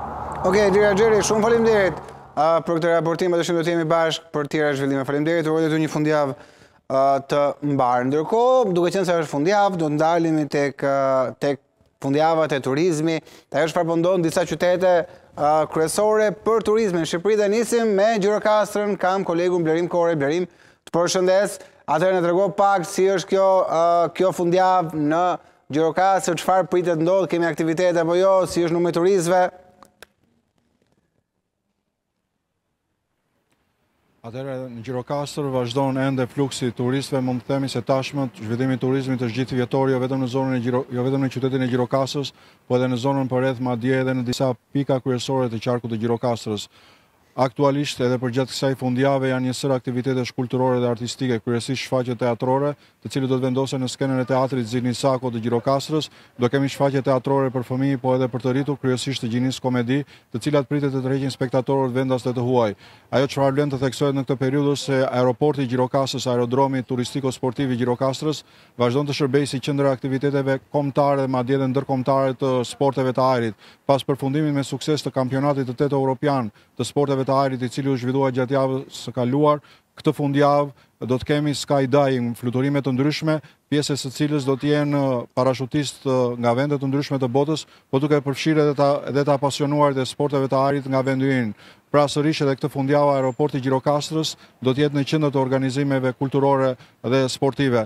Ndërkohë pritet që Gjirokastra të mirëpresë sërish turistë, të cilët vazhdojnë të jenë të shumtë, kryesisht në zonën muzeale, po edhe në pjesën e poshtme të qytetit, aktualisht unë ndodhem përgjatë rrugës kombëtare Gjirokastër-Kakavije, ku vihet re sërish një lëvizje e turistëve, kryesisht në destinacione në drejtim të Sarandës, po edhe nga Saranda në drejtim të Gjirokastrës dhe në zona të tjera të vendit. Pra, kemi një fundjavë të mbarë për sa i përket turizmit. Ajo çfarë dua të theksoj është se Kalaja e Gjirokastrës vazhdon të jetë ende monumenti i kulturës më i vizituar në rang vendi. Prej fillimit të vitit janë rreth dyqind e pesëdhjetë mijë turistë vendas dhe të huaj të regjistruar në biletarinë online të këtij monumenti kulture, të cilët kanë vizituar kalanë, e cila është simboli i Gjirokastrës, po edhe i zhvillimit turistik gjatë viteve të fundit në vendin tonë. Pra, në këtë drejtim Gjirokastra mund të them se vazhdon të ketë një sezon turistik të mbarë gjithëvjetor. Blerim Kore, shumë faleminderit ty për këtë raportim. Të uroj dhe ty një fundjavë të mbarë dhe nga Gjirokastra do kalojmë pak Kilometra më tej, do kalojmë Qafë Gjashtën, do shkojmë në Sarandë, kam Anxhela Lushkën aty. Anxhela, të përshëndes, na trego pak si është Saranda në këtë mes tetori. Të përshëndes, Thimi, në fakt vjeshta nuk duket se ka sjellë përfundimin e sezonit turistik në Sarandë, edhe pse muaji shtator e tetori nuk duket se kanë patur edhe fort në favor të tyre kushtet atmosferike, por turistë ka patur pa dyshim. Paçka se vera nuk ishte fort e mirë për për industrinë e turizmit këtu, vjeshta ka qenë e kënaqshme të paktën deri më tani ajo që operatorët turistikë prisnin dhe kishin dëshirë të ndodhte ishte që rezervimet të ishin deri në datën 20 tetor. Pritshmëritë e tyre duket se janë përmbushur deri tani pasi duket që prezenca turistike ka qenë mjaft e kënaqshme në përgjithësi, ashtu ka ndodhur edhe këtë vit në fakt që kjo fashë e turizmit, kjo pjesë kohore e turizmit dominohet nga nga turistët të cilët vijnë përmes grupeve në në Sarandë e në vendin tonë. Janë grupet përgjithësisht nga Amerika e Veriut, grupet me francezë e gjermanë. Këto kanë qenë grupet që më së shumti kanë dominuar, i përkasin në përgjithësi moshave të mesme apo atyre të treta dhe priren më së shumti për të vizituar vendet tona kulturore, monumentet kulturore dhe arkeologike janë thuajse plot e përplot në në këto ditë vjeshte nga vizitorë të huaj të cilët kanë interes, madje janë ata vizitorët të të moshave të mëdha që preferojnë të marrin edhe guida me vete për të njohur më së miri historinë e e vendit tonë dhe pikat turistike ku ata shkojnë për të vizituar. Gjithashtu Syri i Kaltër ka qenë të paktën gjitha ditët që moti është i mirë e nuk ka reshje shiu është i tejmbushur me, me pushues por Syri i Kaltër në fakt për vetë bukuritë që, që mban, tërheq mosha të ndryshme në fakt edhe ata që janë turistë individualë, turistë të pavarur, apo mosha më të reja, pa dyshim që e vizitojnë syrin e kaltër, pa bërë ndonjë diferencë mes muajve korrik e gusht e shtator tetorit, pra duket sikur syri i kaltër shkon, përsa i përket vizitueshmërisë. Në këtë moment, kush është në cilat shtetësi të turistëve të huaj dominojnë, pra çfarë ka më shumë? Ajo që po thoja ishin grupet, që ishin amerikanët, Gjermanët e francezët, ndërsa për turistin e pavarur dominojnë polakët e ukrainasit. Këta fundit prej viteve tani më preferojnë të kenë fillimin e pranverës edhe vjeshtën si destinacion të tyre në Sarandë, por në fakt shumë ukrainas edhe polakë që janë rezidentë një pjesë të vitit në vendin tonë, kthehen në vjeshtë për të bërë pushimet e tyre dhe blejnë, kanë blerë banesa, qëndrojnë aty dhe vinë në muajin shtator, tetor për të qëndruar deri në periudhën përpara Krishtlindjeve, por gjithashtu kjo tipologji pushuesit, ata të cilët nuk kanë një banesë këtu, polakët e ukrainasit janë ata të cilët priren më shumë mhm. Timi drejt Airbnb-ve, janë ata që preferojnë apartamentet me qira këtë periudhë, preferojnë të frekuentojnë i shikon shumë në këtë periudhë tregjet e fruta perimeve, produktet e freskëta shqiptare, bio të vendit tonë i preferojnë më shumë Timi polakët edhe ukrainasit, madje siç thonë tregtarët, duan të marrin edhe pak produkte me vete gjatë periudhës që largohen për në, në vendin e tyre. Kjo është pak a shumë situata e turizmit këtu. Nëse pritshmëritë ishin deri për datën 20 tetor, Timi besoj që okay. do të ketë turistë edhe për ditët më në vazhdim, pra përtej kësaj date që ishte vendosur si data ku do të mbyllej thuajse sezoni turistik këtu, pasi nuk do të kishte më rezervime të mëdha për më tutje. Anxhela Lushkaj, shumë faleminderit dhe ty për këtë raportim, të uroj dhe ty një fundjavë të mbarë. Kalojmë në veri, në Shkodër, me kolegun Teodor Gjerga atje, shohim Shkodrën e, e, e mbuluar nga një, nga një vesë e hollë shiu. Uh, Teodor, të përshëndes, si është kjo fundjavë në Shkodër, çfarë, çfarë i pret ata që duan, që ende nuk kanë vendosur, po duan të vinë në Shkodër, çfarë i pret këtë fundjavë? Atëherë Timi duhet thënë që mëngjesi i ditës së sotme në Shkodër ka pasur reshje të lehta shiu, por kjo nuk duhet t'i trembë aspak vizitorët, të cilët kanë zgjedhur që të vizitojnë veriun e Shqipërisë këtë fundjavë, pasi parashikimi i motit është shumë i mirë, moti do të jetë me diell dhe mund të shijojnë të gjitha bukuritë natyrore që ofron veriu i vendit, kryesisht Shkodra, por dhe pikat e tjera turistike përreth saj. Në fakt duhet thënë që Fluksi i turistëve pavarësisht se ndodhemi në muajin tetor, vijon që të jetë i lartë. Në qytetin e Shkodrës, por dhe në pikat turistike përreth, mund të themi që Thethi sërish vijon që të jetë në kuotat maksimale të vizitorëve, si të ishte muaji gusht dhe le të themi, sidomos gjatë fundjavave, është pothuajse e pamundur që të gjesh një hapësirë për të për t'u akomoduar në njësitë e banimit në këtë zonë. Gjithashtu mund të themi që Edhe në zonat e tjera malore ka pasur kërkesë të shtuar sa i takon vizitorëve, ndonëse jemi në muajin tetor në stinën e vjeshtës, mund të themi që edhe Razma ka qenë një ndër ato destinacionet e preferuara të turistëve të cilët le të themi kanë qenë kryesisht të huaj këtë vit të cilët e kanë preferuar në masë zonën e Razmës, le të themi platformat siç janë Booking apo Expedia kanë bërë që shumë turistë ta zgjedhin Razmën si të preferuarën e tyre për të kaluar pushimet, këtë vit më shumë të huajt, ndryshe nga turistët shqiptarë dhe emigrantët të cilët paktën sipas komunikimit që kanë pasur me njësitë akomoduese atje kanë qenë në numër më të ulët. Duhet thënë që më problematike ka qenë situata sa i takon numrit të turistëve në zonën e Vermoshit kryesisht në zonën e Lëpushës, ku duhet thënë që në krahasim me një vit më parë numri i vizitorëve ka qenë më i ulët dhe le të themi shihet një tendencë që kjo zonë të largohen, të mbyllen dhe ato biznese të cilat kanë qenë dhe nëse vitin e kaluar kanë qenë pesë apo gjashtë bujtina të cilat kanë akomoduar turistë këtë vit të paktën sipas dhënave që kam kanë mbetur vetëm tre të tilla duke bërë kështu që të jetë një situatë aspak e mirë sa i takon vizitueshmërisë së zonës së Kelmendit, të zonës së Lëpushit, Vermoshit në tërësi. Ndonëse, le ta themi, për mua është një ndër zonat më të preferuar dhe më të bukura që ofron veriu i Shqipërisë. Thethin, siç thashë pak më parë, është në kuotat maksimale, liqeni i Shkodrës gjithashtu ka pasur edhe në këtë muaj një numër shumë të lartë të vizitorëve, kryesisht përgjatë pjesës pjesës së liqenit nga ana e Koplikut si i thojmë ne në qytetin e Shkodrës, ku janë ato që ato turistë të cilët bëjnë kamping, vendosin rulotat e tyre apo me çadra ku vija përgjatë liqenit të Shkodrës është kthyer në një destinacion shumë preferuar për turistët, vijon që të jetë edhe në muajin tetor, ndërsa le të themi tashmë mund të themi zyrtarisht që sezoni turistik Velipojë është mbyllur dhe mund të jenë vetëm ato turistët shkodranë të cilët gjatë fundjavave përfitojnë nga rrezet e diellit për të shkuar atje. Fundjava që kaloi në fakt ka qenë me një numër shumë të lartë turistësh dhe vizitorësh, madje ka pasur nga ata që kanë bërë edhe plazh në Velipojë për shkak të temperaturave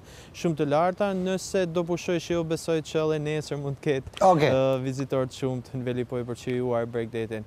Teodor Gjekaj, shumë faleminderit për për këtë raportim nga Shkodra dhe kalojmë në një tjetër qytet, në qytetin rival të të Shkodrës në Korçë, po jo në Korçë, jemi në qarkun e Korçës, të jemi në Pustec. Kam kolegun Xhensil Shkëmbi atje së bashku me kryetarin e bashkisë të Pustecit, zotin Pali Kolevski, përshëndetje të dy, faleminderit Xhensil që na na solle një tjetër pjesë të qarkut të Korçës. Po të jap linjën si është situata me turizmin në Prespë edhe në Pustec. Një pjesë e një pjesë e rëndësishme e qarkut të Korçës absolutisht që është pjesa e Pustecit e cila mbizotërohet nga parku kombëtar i Prespës. Në qoftë se më parë themi vijnë në Pustec thjesht për të ngrënë një tavë peshk Oke, besoj të kem, oke, do kem sërish kolegun Xhensil Shkëmbi, oke, Xhensil, se pati një shkëputje, tashmë jemi, jemi sërish bashkë, po, oke, se pati një shkëputje të vogël, jemi oke, tashmë. Unë ndërpre, se, thjesht sa përmende tavën e krapit në Pustec, që bëhet më e mira se në çdo vend tjetër të Shqipërisë, si tava e krapit në Pustec nuk ka, kështu që aty u ndërpre, sepse edhe djemtë e teknikës dhe na mori uria menjëherë dhe ra sinjali. Vijo, Xhensil. Në në qoftë se në qoftë se më parë vinin vini vinim në Pustec vetëm për këtë tanimë ka se për çfarë vijmë sepse me sa duket edhe investimet kryetar që keni kryer në Pustec me sa duket e kanë dhënë atë shenjën e parë dhe janë shtuar ditët e qëndrimit. Gaboj? Ë investimet për të thënë për të qenë sinqert nuk se kanë qenë të konsiderueshme, por ato që janë bërë dhe janë bërë në fushën e turizmit le të themi, edhe muzeumi ka qenë i pari me projektet e Bashkimit Evropian, Pastaj asaj pjese iu shtua edhe një kalldrëm në këtë fshat, për të cilin ne mendojmë që ta zgjerojmë për ta bërë gjithë fshatin në modelin e jo me asfalte, po me kalldrëme, në mënyrë karakteristike siç e ka edhe zona. Janë bërë ndërhyrje në ishullin e Maligradit, konkretisht në kishën e Shën Marisë që ndodhet atje, e cila ia ka rritur vlerat e saj, i ka nxjerrë më në pah ato vlerat kulturore dhe trashëgiminë që ka Ajo kishë. Gjithashtu, po shikojmë edhe njerëzit kanë më shumë kapacitete vetë si njerëz duke bërë ca, domethënë shtëpitë e tyre i kanë përshtatur në guest house ose në bujtina. Kryetar, si ishte ky vit? Kryesisht, domethënë, ka qenë në në në vlerat e në numrat, domethënë, të vitit të mëparshëm, të 2023-shit, por mendoj që mendoj që këtë radhë kam vënë re një rritje të turistëve të huaj. Domethënë kryesisht gjermanë, polak holandez gjithashtu po edhe që vin është shtuar edhe numri i rulotave për të qëndruar disa ditë domethënë kjo sjell sjell edhe kërkesën për të shtatur për të bërë vende për parkimin e këtyre rulotave kulturën dhe për trashëgimin kulturore, kuptohet edhe edhe gatimet, por ë natyra e pastër dhe kuptohet natyrë. Kryetar, ke marrë vëmendjen e duhur nga pushteti qendror? Shoh që gjithmonë je i rezervuar për sa i përket investimeve. Madje edhe kur unë e përmenda, u duk sikur isha unë kryetar bashkie dhe jo ti. Pse? Jo, shiko, unë për hir të së vërtetës këtu kanë nevojë për investime të tjera të rëndësishme nga pushteti qendror, sepse kapacitetet tona janë kaq. Ne me mundësitë që kemi, kemi bërë aplikime edhe po presim shumë shpejt që të fillojë edhe ndërhyrja në fshatin Zaroshk, në kuadër të 100 fshatrave. Ne gja kemi lidhur një kontratë me Fondin e Zhvillimit edhe me ASHK-në, ku faza e parë duhet regjistrimi i gjithë pronave në fshatin Zaroshk, me qëllim që kjo ndërhyrje të fillojë ashtu siç duhet, siç e parashikon dhe ligji. Besoj se kjo do të rritë patjetër vlerat dhe do shtojë kapacitetet për pritur turistë. Kryetar, të irriton fakti që flasim për një Pustec edhe për një park kombëtar në zhvillim turizmi, ndërkohë që ju ende nuk kini plazhe publike?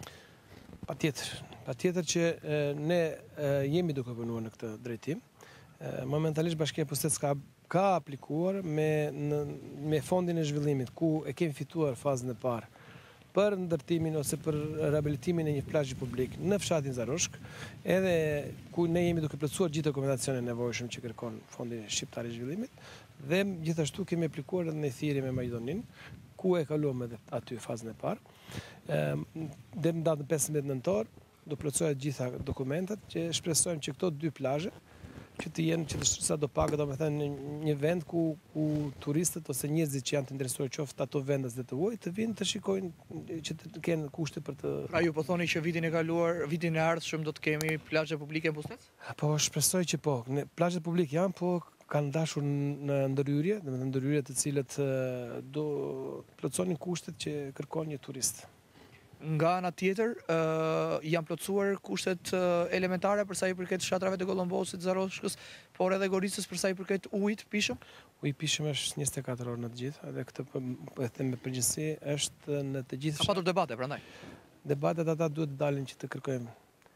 ndjesë publike për, për ato lajme që, të cilët ose keqinformimi i popullatës. Ne kemi bërë analizat në çdo burim. Okay. Uji është i pishëm. Uji është i pishëm, edhe momentalisht po furnizojmë 24 orë gjithë fshatrat ku është bërë ndërhyrja. Edhe gjatë kësaj periudhe shumë të thatë ne nuk kishim probleme. I fundit ka qenë fshati i Gollomboçit, ku Për hir të së vërtetës, njëri nga puset që ka, që u bë domethënë puna, domethënë ka patur ujë të pishëm, të bollshëm, por analizat fizike të tij nuk pretendonin që për t'u përdorur për ujë të pishëm. Tash e zgjidhëm dhe këtë punë. Besoj që të gjithë duhet të jenë të qetë për këtë punë. Tani më i është hapur rruga edhe Pustecit turistik. Nuk është vetëm ky investim, po unë shpresoj që të bëhen edhe kanalizimet e ujërave të zeza, jo për faktin se jetojnë shumë njerëz këtu që le të themi është vërtet është një investim shumë i madh, por me me zgjidhjen e problemit të kanalizimeve zgjidhet problemi i ndotjes së liqenit, që është një nga liqenet e vetme që ka ujë të pijshëm. Ju kryetar dini të na shfrytëzoni mirë në, në kuptimin e mirë të fjalës se kur bëhet fjala për turizmin e çon gjithmonë te pjesa e kërkesës. për sa i përket investimeve. Të jam shumë mirënjohës. Faleminderit. Këto janë, këto janë kërkesa nga komuniteti, kuptohet, edhe ne gjejmë mënyrën që t'i transmetojmë, se për këtë jemi zgjedhur këtu. Faleminderit shumë. Faleminderit. Okej, okay. Gjensil, uh, shumë faleminderit për për gjithçka solle po. Pusteci po ecën në ritmin e duhur. Okej, okay, Gjensil madje si është për për batutë kur thashë tava e krapit menjëherë nisën disa uh, mesazhe që më kritikonin duke më thënë që nuk nuk e di saktë sepse krap bën vetëm Shkodra, Po dua ta sqarojmë dhe një herë, meqë je aty, edhe kryetari i bashkisë, bashkisë ta, ta, ta, ta sqarojë pak specifiki, specifikën e tavës së krapit në Pustec. Pse është kaq... Miku yt, mm, miku yt eh, Thimi, Thimi Samarxhiu thotë që bëra një gabim se Jo, nuk kishte bëra përmendur gabim, tavën nuk e bëra krapit. gabim, Ka jo. tavë krapi në Pustec? Me shumicë besoj Thimi dhe A? besoj se e, e ke provuar domethënë tavën e krapit dhe gjithmonë do ngelet e mirë në Prespë. Po se kishin shkruar, kishin shkruar nga Shkodra që vetëm në Shkodër bëhet. Po le të vinë ata shkodranë ta provojnë një herë. Okej. Shumë faleminderit edhe kryetarit të bashkisë. Ju përshëndes të dy dhe faleminderit për këtë raportim. Ndërkohë ndalemi tek një tjetër zhvillim. KQZ u ka drejtuar një letër informuese partive politike për votimin e diasporës. Sipas KQZ-s, postat e kontaktuara kanë kërkuar 45 ditë kohë për dërgimin dhe kthimin e fletëve të votimit në KQZ nga votuesit jashtë vendit. KQZ rekomandon përjashtimin kategorikisht të postave të thjeshta në këtë proces. KQZ rekomandon që dërgimi dhe kthimi i votës të bëhet me të njëjtën postë. Pra kjo është letra që është dërguar të gjithë partive politike lidhur me votën e diasporës. Shkojmë në një hapësirë publicitare, rikthehemi sërish. Jemi kthyer sërish në studio, flasim për emigrantët, të cilët mbërritën pak ditë më parë në Gjadër, katër prej tyre u kthyen, me debate të shumta i gjithë ky proces dhe për të folur për atë çfarë pritet të ndodhë tashmë, kam kënaqësinë të kem Gianluca Petruzzo, gazetar dhe aktivist i shoqatës antiraciste inter interetnike tre shkurti. Zoti Petruzzo, falemderit shumë që u bashkuat në Euronews Albania. Fillimisht do doja t'ju pyesja lidhur me, me atë çfarë patë, besoj e patë zbarkimin e 16 emigrantve dhe më pas kthimin pas të katër prej tyre, si, si e patë këtë proces si gazetar, por dhe si aktivist.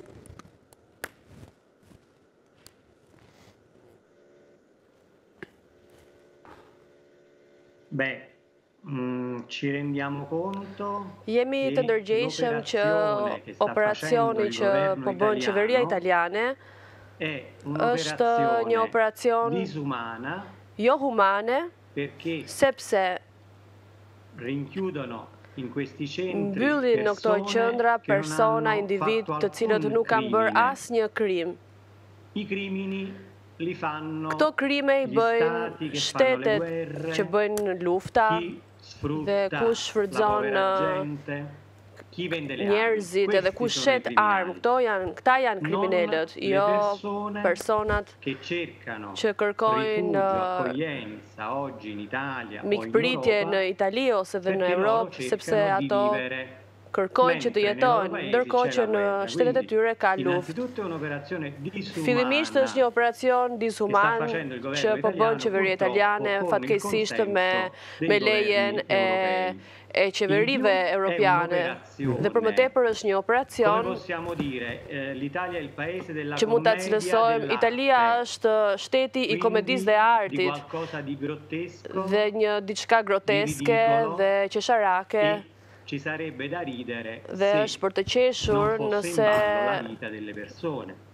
nuk do të ishte në lojë jeta e njerëzve, sepse mos të kesh në anije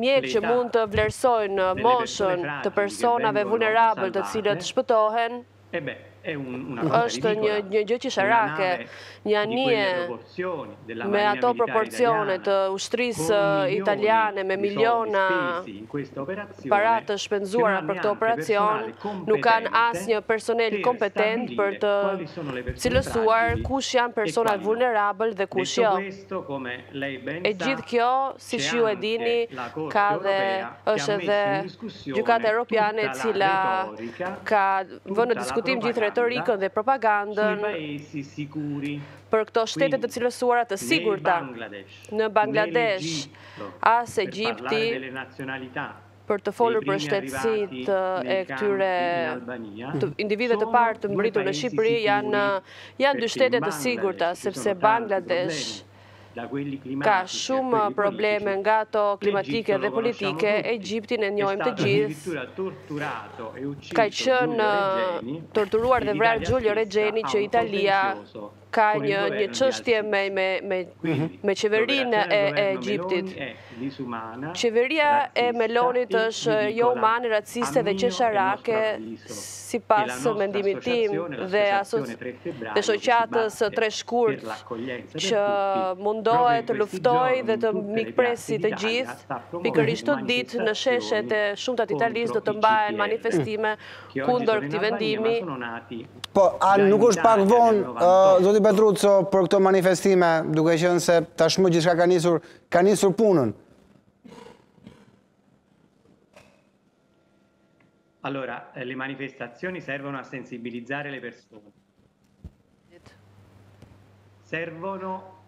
Duhen për të thënë që ka njerëz që e mendojnë ndryshe, që nuk jemi të gjithë dakord dhe unë përshëndes me lumturi që edhe në Shqipëri opinioni publik po bën lëvizje të tilla.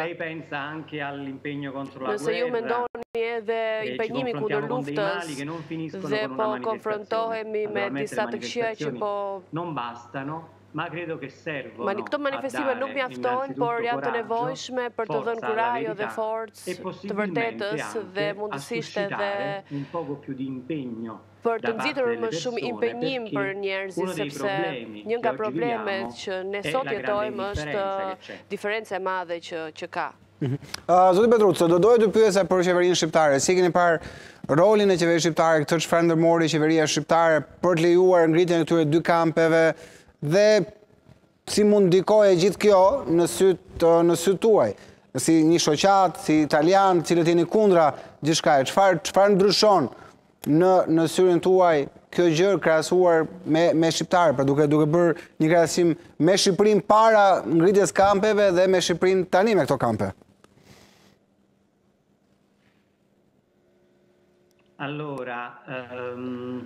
Mm, per, per, per dirlo anche alla gente che ci segue, për ta thënë edhe për njerëzit që na ndjekin, shoqata jonë bën një uh, diferencë të madhe nga njerëzit nga qytetarët shqiptarë dhe qeveria, kështu që sa i përket qeverisë përfshirë dhe atë shqiptare, nga pikëpamje të ndryshme dhe nga gjithmonë ne jemi kritike dhe denoncojmë këto padrejtësi që ka e kanë qenë dhe kjo marrëveshje e fundit me qeverinë italiane i bë një pa e vendos qeverinë shqiptare në një dritë shumë të keqe edhe sa i takon çështjes së integrimit të Shqipërisë në Unionin Europian. Pse, pse e thoni, më fal do të ndalem pak këtu, të lutem. Riguardo pse pse ndikon kjo, do doja t'ju pyesja pse ndikon tek rruga drejt Bashkimit Europian sepse shumë shtete edhe Ursula von der Leyen e kanë përshëndetur këtë gjë. Pse sipas jush ndikon?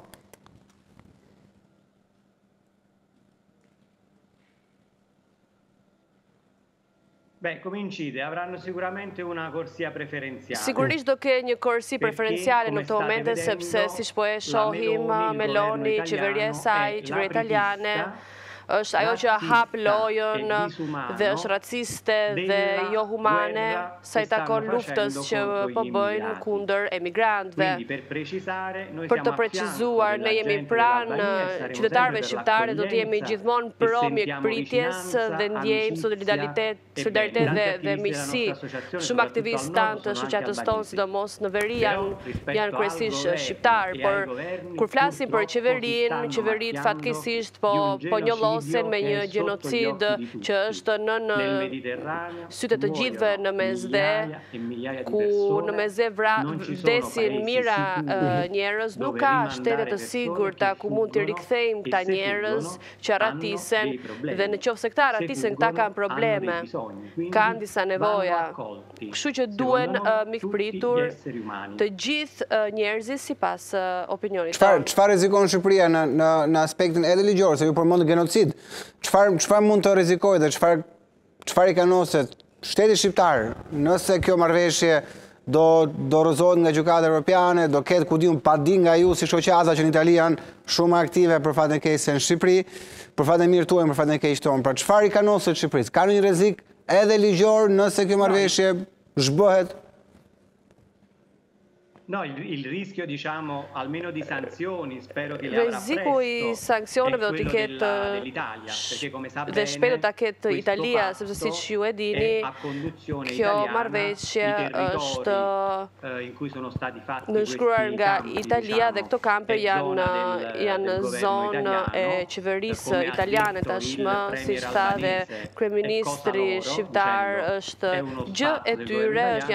hapësirë qeverisë italiane, kështu që qeveria italiane është ajo që rrezikon, shpresoj që do të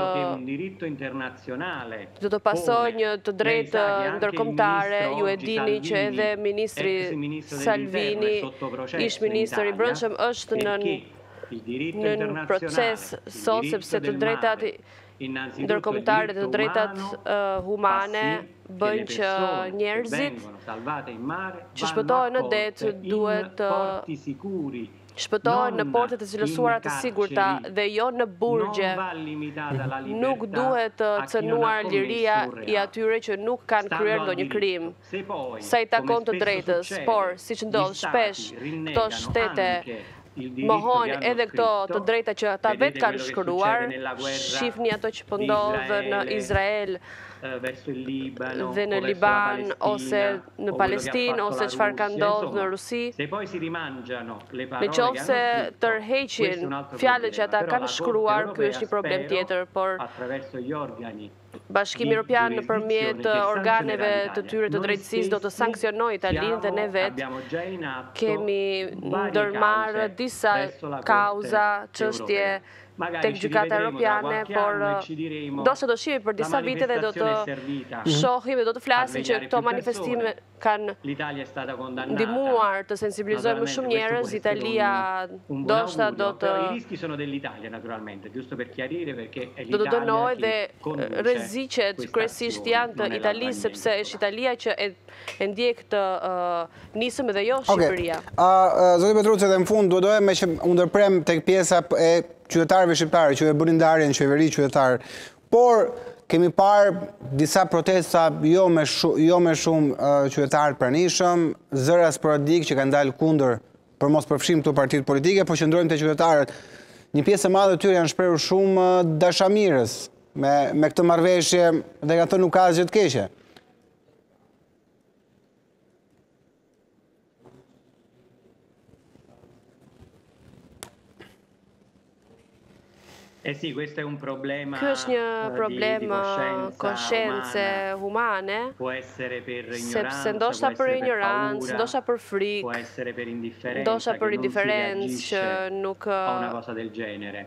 Reagojnë ndaj kësaj çështje. Unë kam lexuar një intervistë shumë të bukur në La Repubblica tek një njeri shqiptar, shqiptar i cili ndodhet në Puglia, ku arritën shqiptarët e parë në vitet nëntëdhjetë, në vitin nëntëdhjetë e një dhe tregonte të gjitha peripecitë që kishte kaluar dhe thoshte që ne duhet të shpresojmë për të tjerët që të kenë atë çfarë kemi pasur dhe ne, kështu që unë shpresoj që si në Shqipëri këto manifestime edhe në Itali ka shumë pak njerëz në kontrast me këtë skandal të dalin në sheshe dhe njerëzit Ende vetëm qëndrojnë dhe shohin, por ajo që dua të them është që ky individ në, në këtë gazetë na dha një mësim kur tha që pikërish që unë doja që të tjerët të kishin mundësi që kam pasur dhe unë.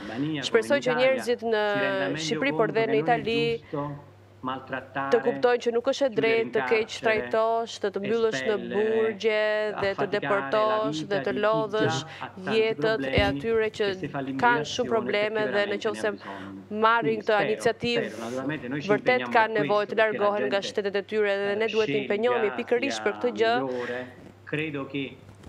Shpresoj që të ndërgjegjësohemi në vite për atë çfarë po ndodh sot, ju e dini mirë dhe historikisht në këtë shtet kur ka pasur deportime të hebrenjve dhe në kohën e nacizmit dhe fashizmit, në fillim asnjeri nuk ishte i ndërgjegjësuar ose nuk kishte kurajon të lëvizte, por më pas diçka lëvizi, kështu që shpresoj që njerëzimi në një farë mënyre të Oke, okay. Zoti Petruzzo, edhe në fund, do doja nga ju një apel për, për qeverinë shqiptare dhe për qytetarët shqiptarë në, në, në, në suazën e gjithë asaj çfarë është duke ndodhur.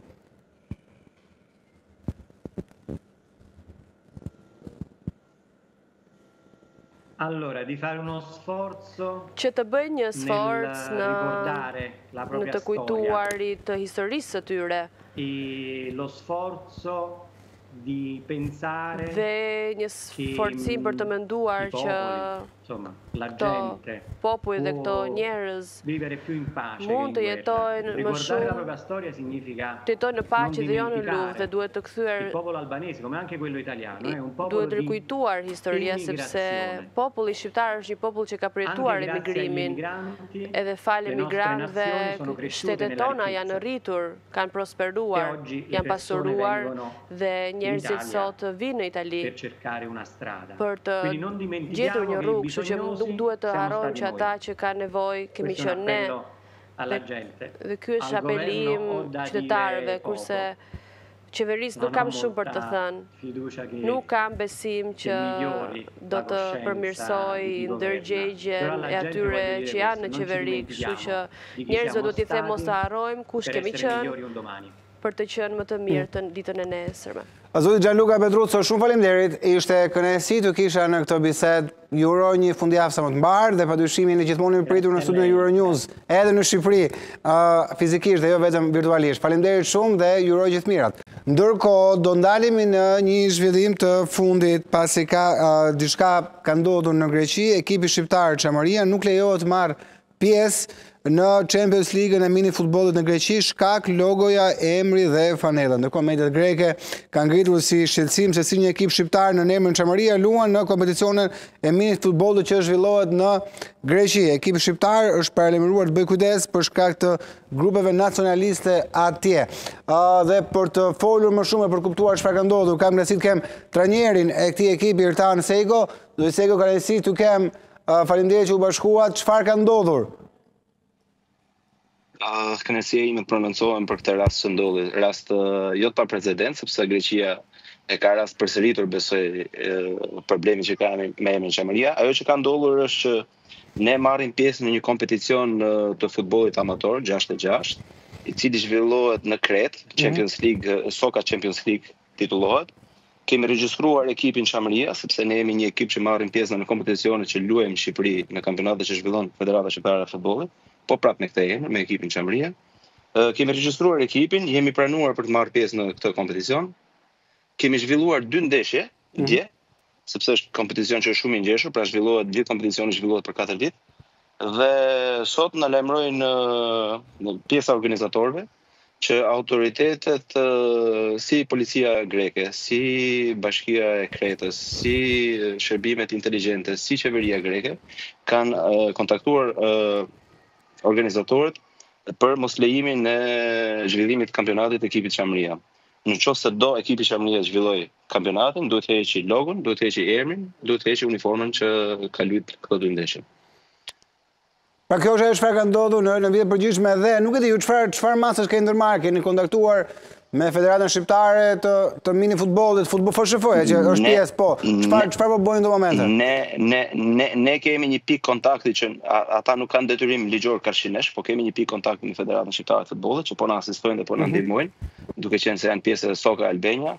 Kemi kontaktuar, kemi pasur vështirësi, po për hir të vërtetës më në fund kontaktuar me pjesën e ambasadës shqiptare në Greqi, në Athinë, më konkretisht.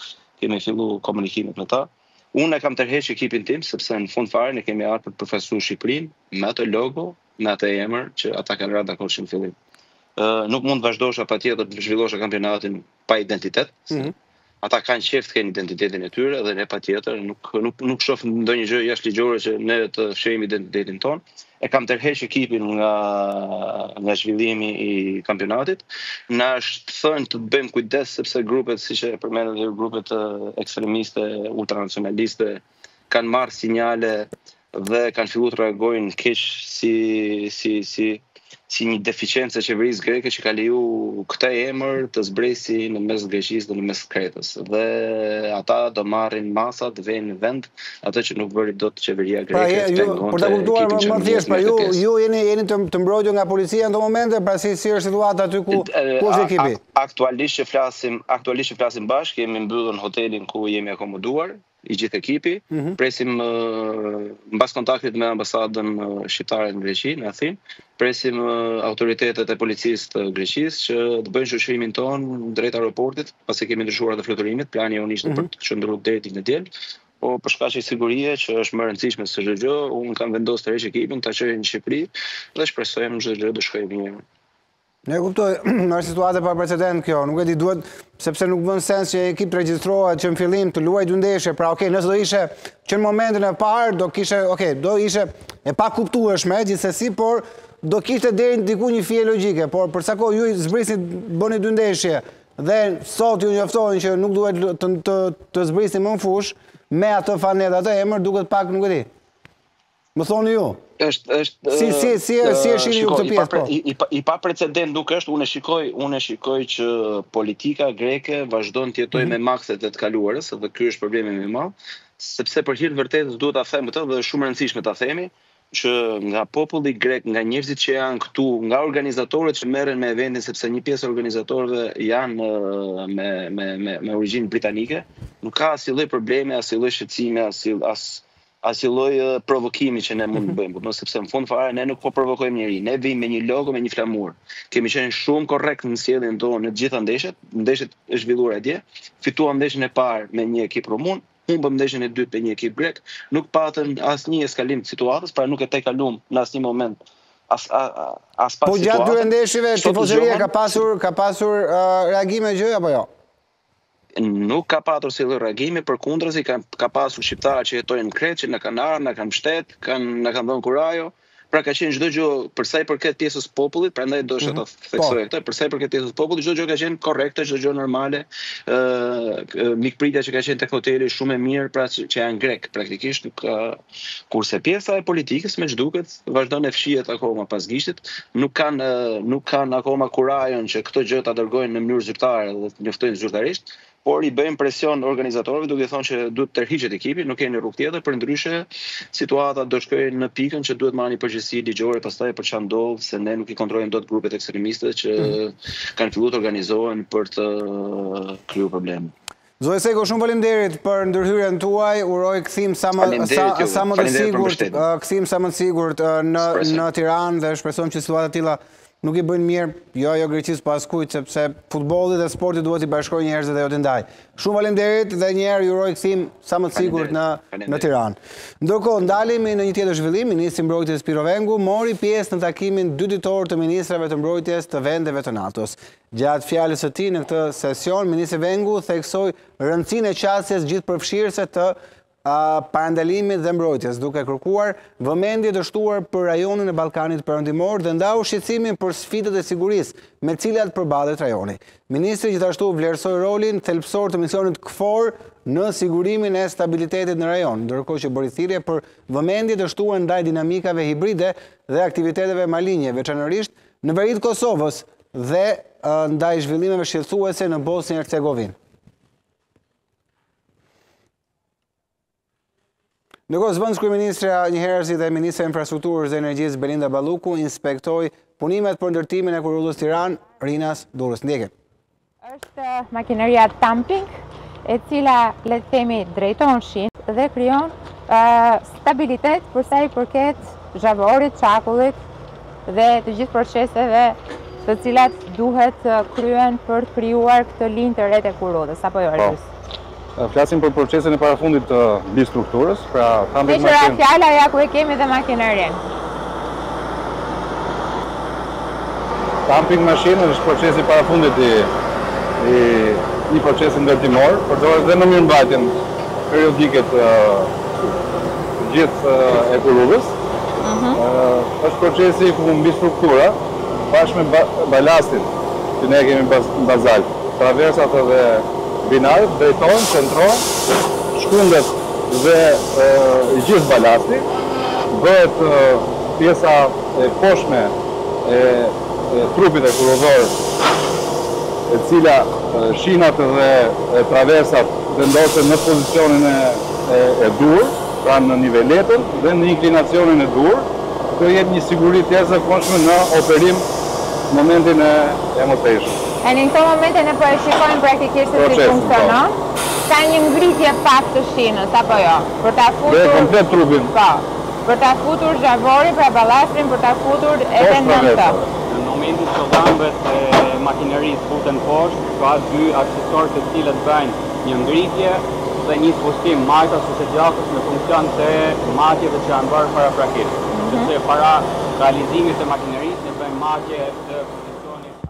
Ok, kjo ishte një pjesë e inspektimit të hekurudhës Tiranë, Rinas Durrës nga Ministrja e Infrastrukturës, zonja Belinda Balluku. Ok, këtu i vjen fundi transmetimit për sot, për lajmet e fundit nga vendi rajoni dhe bota, shkarkoni aplikacionin Euronews pikë al në App Store dhe Google Play, mos u largoni, pas pak vjen kolegu Ilir Kazaferi me të tjera zhvillime shumë interesante.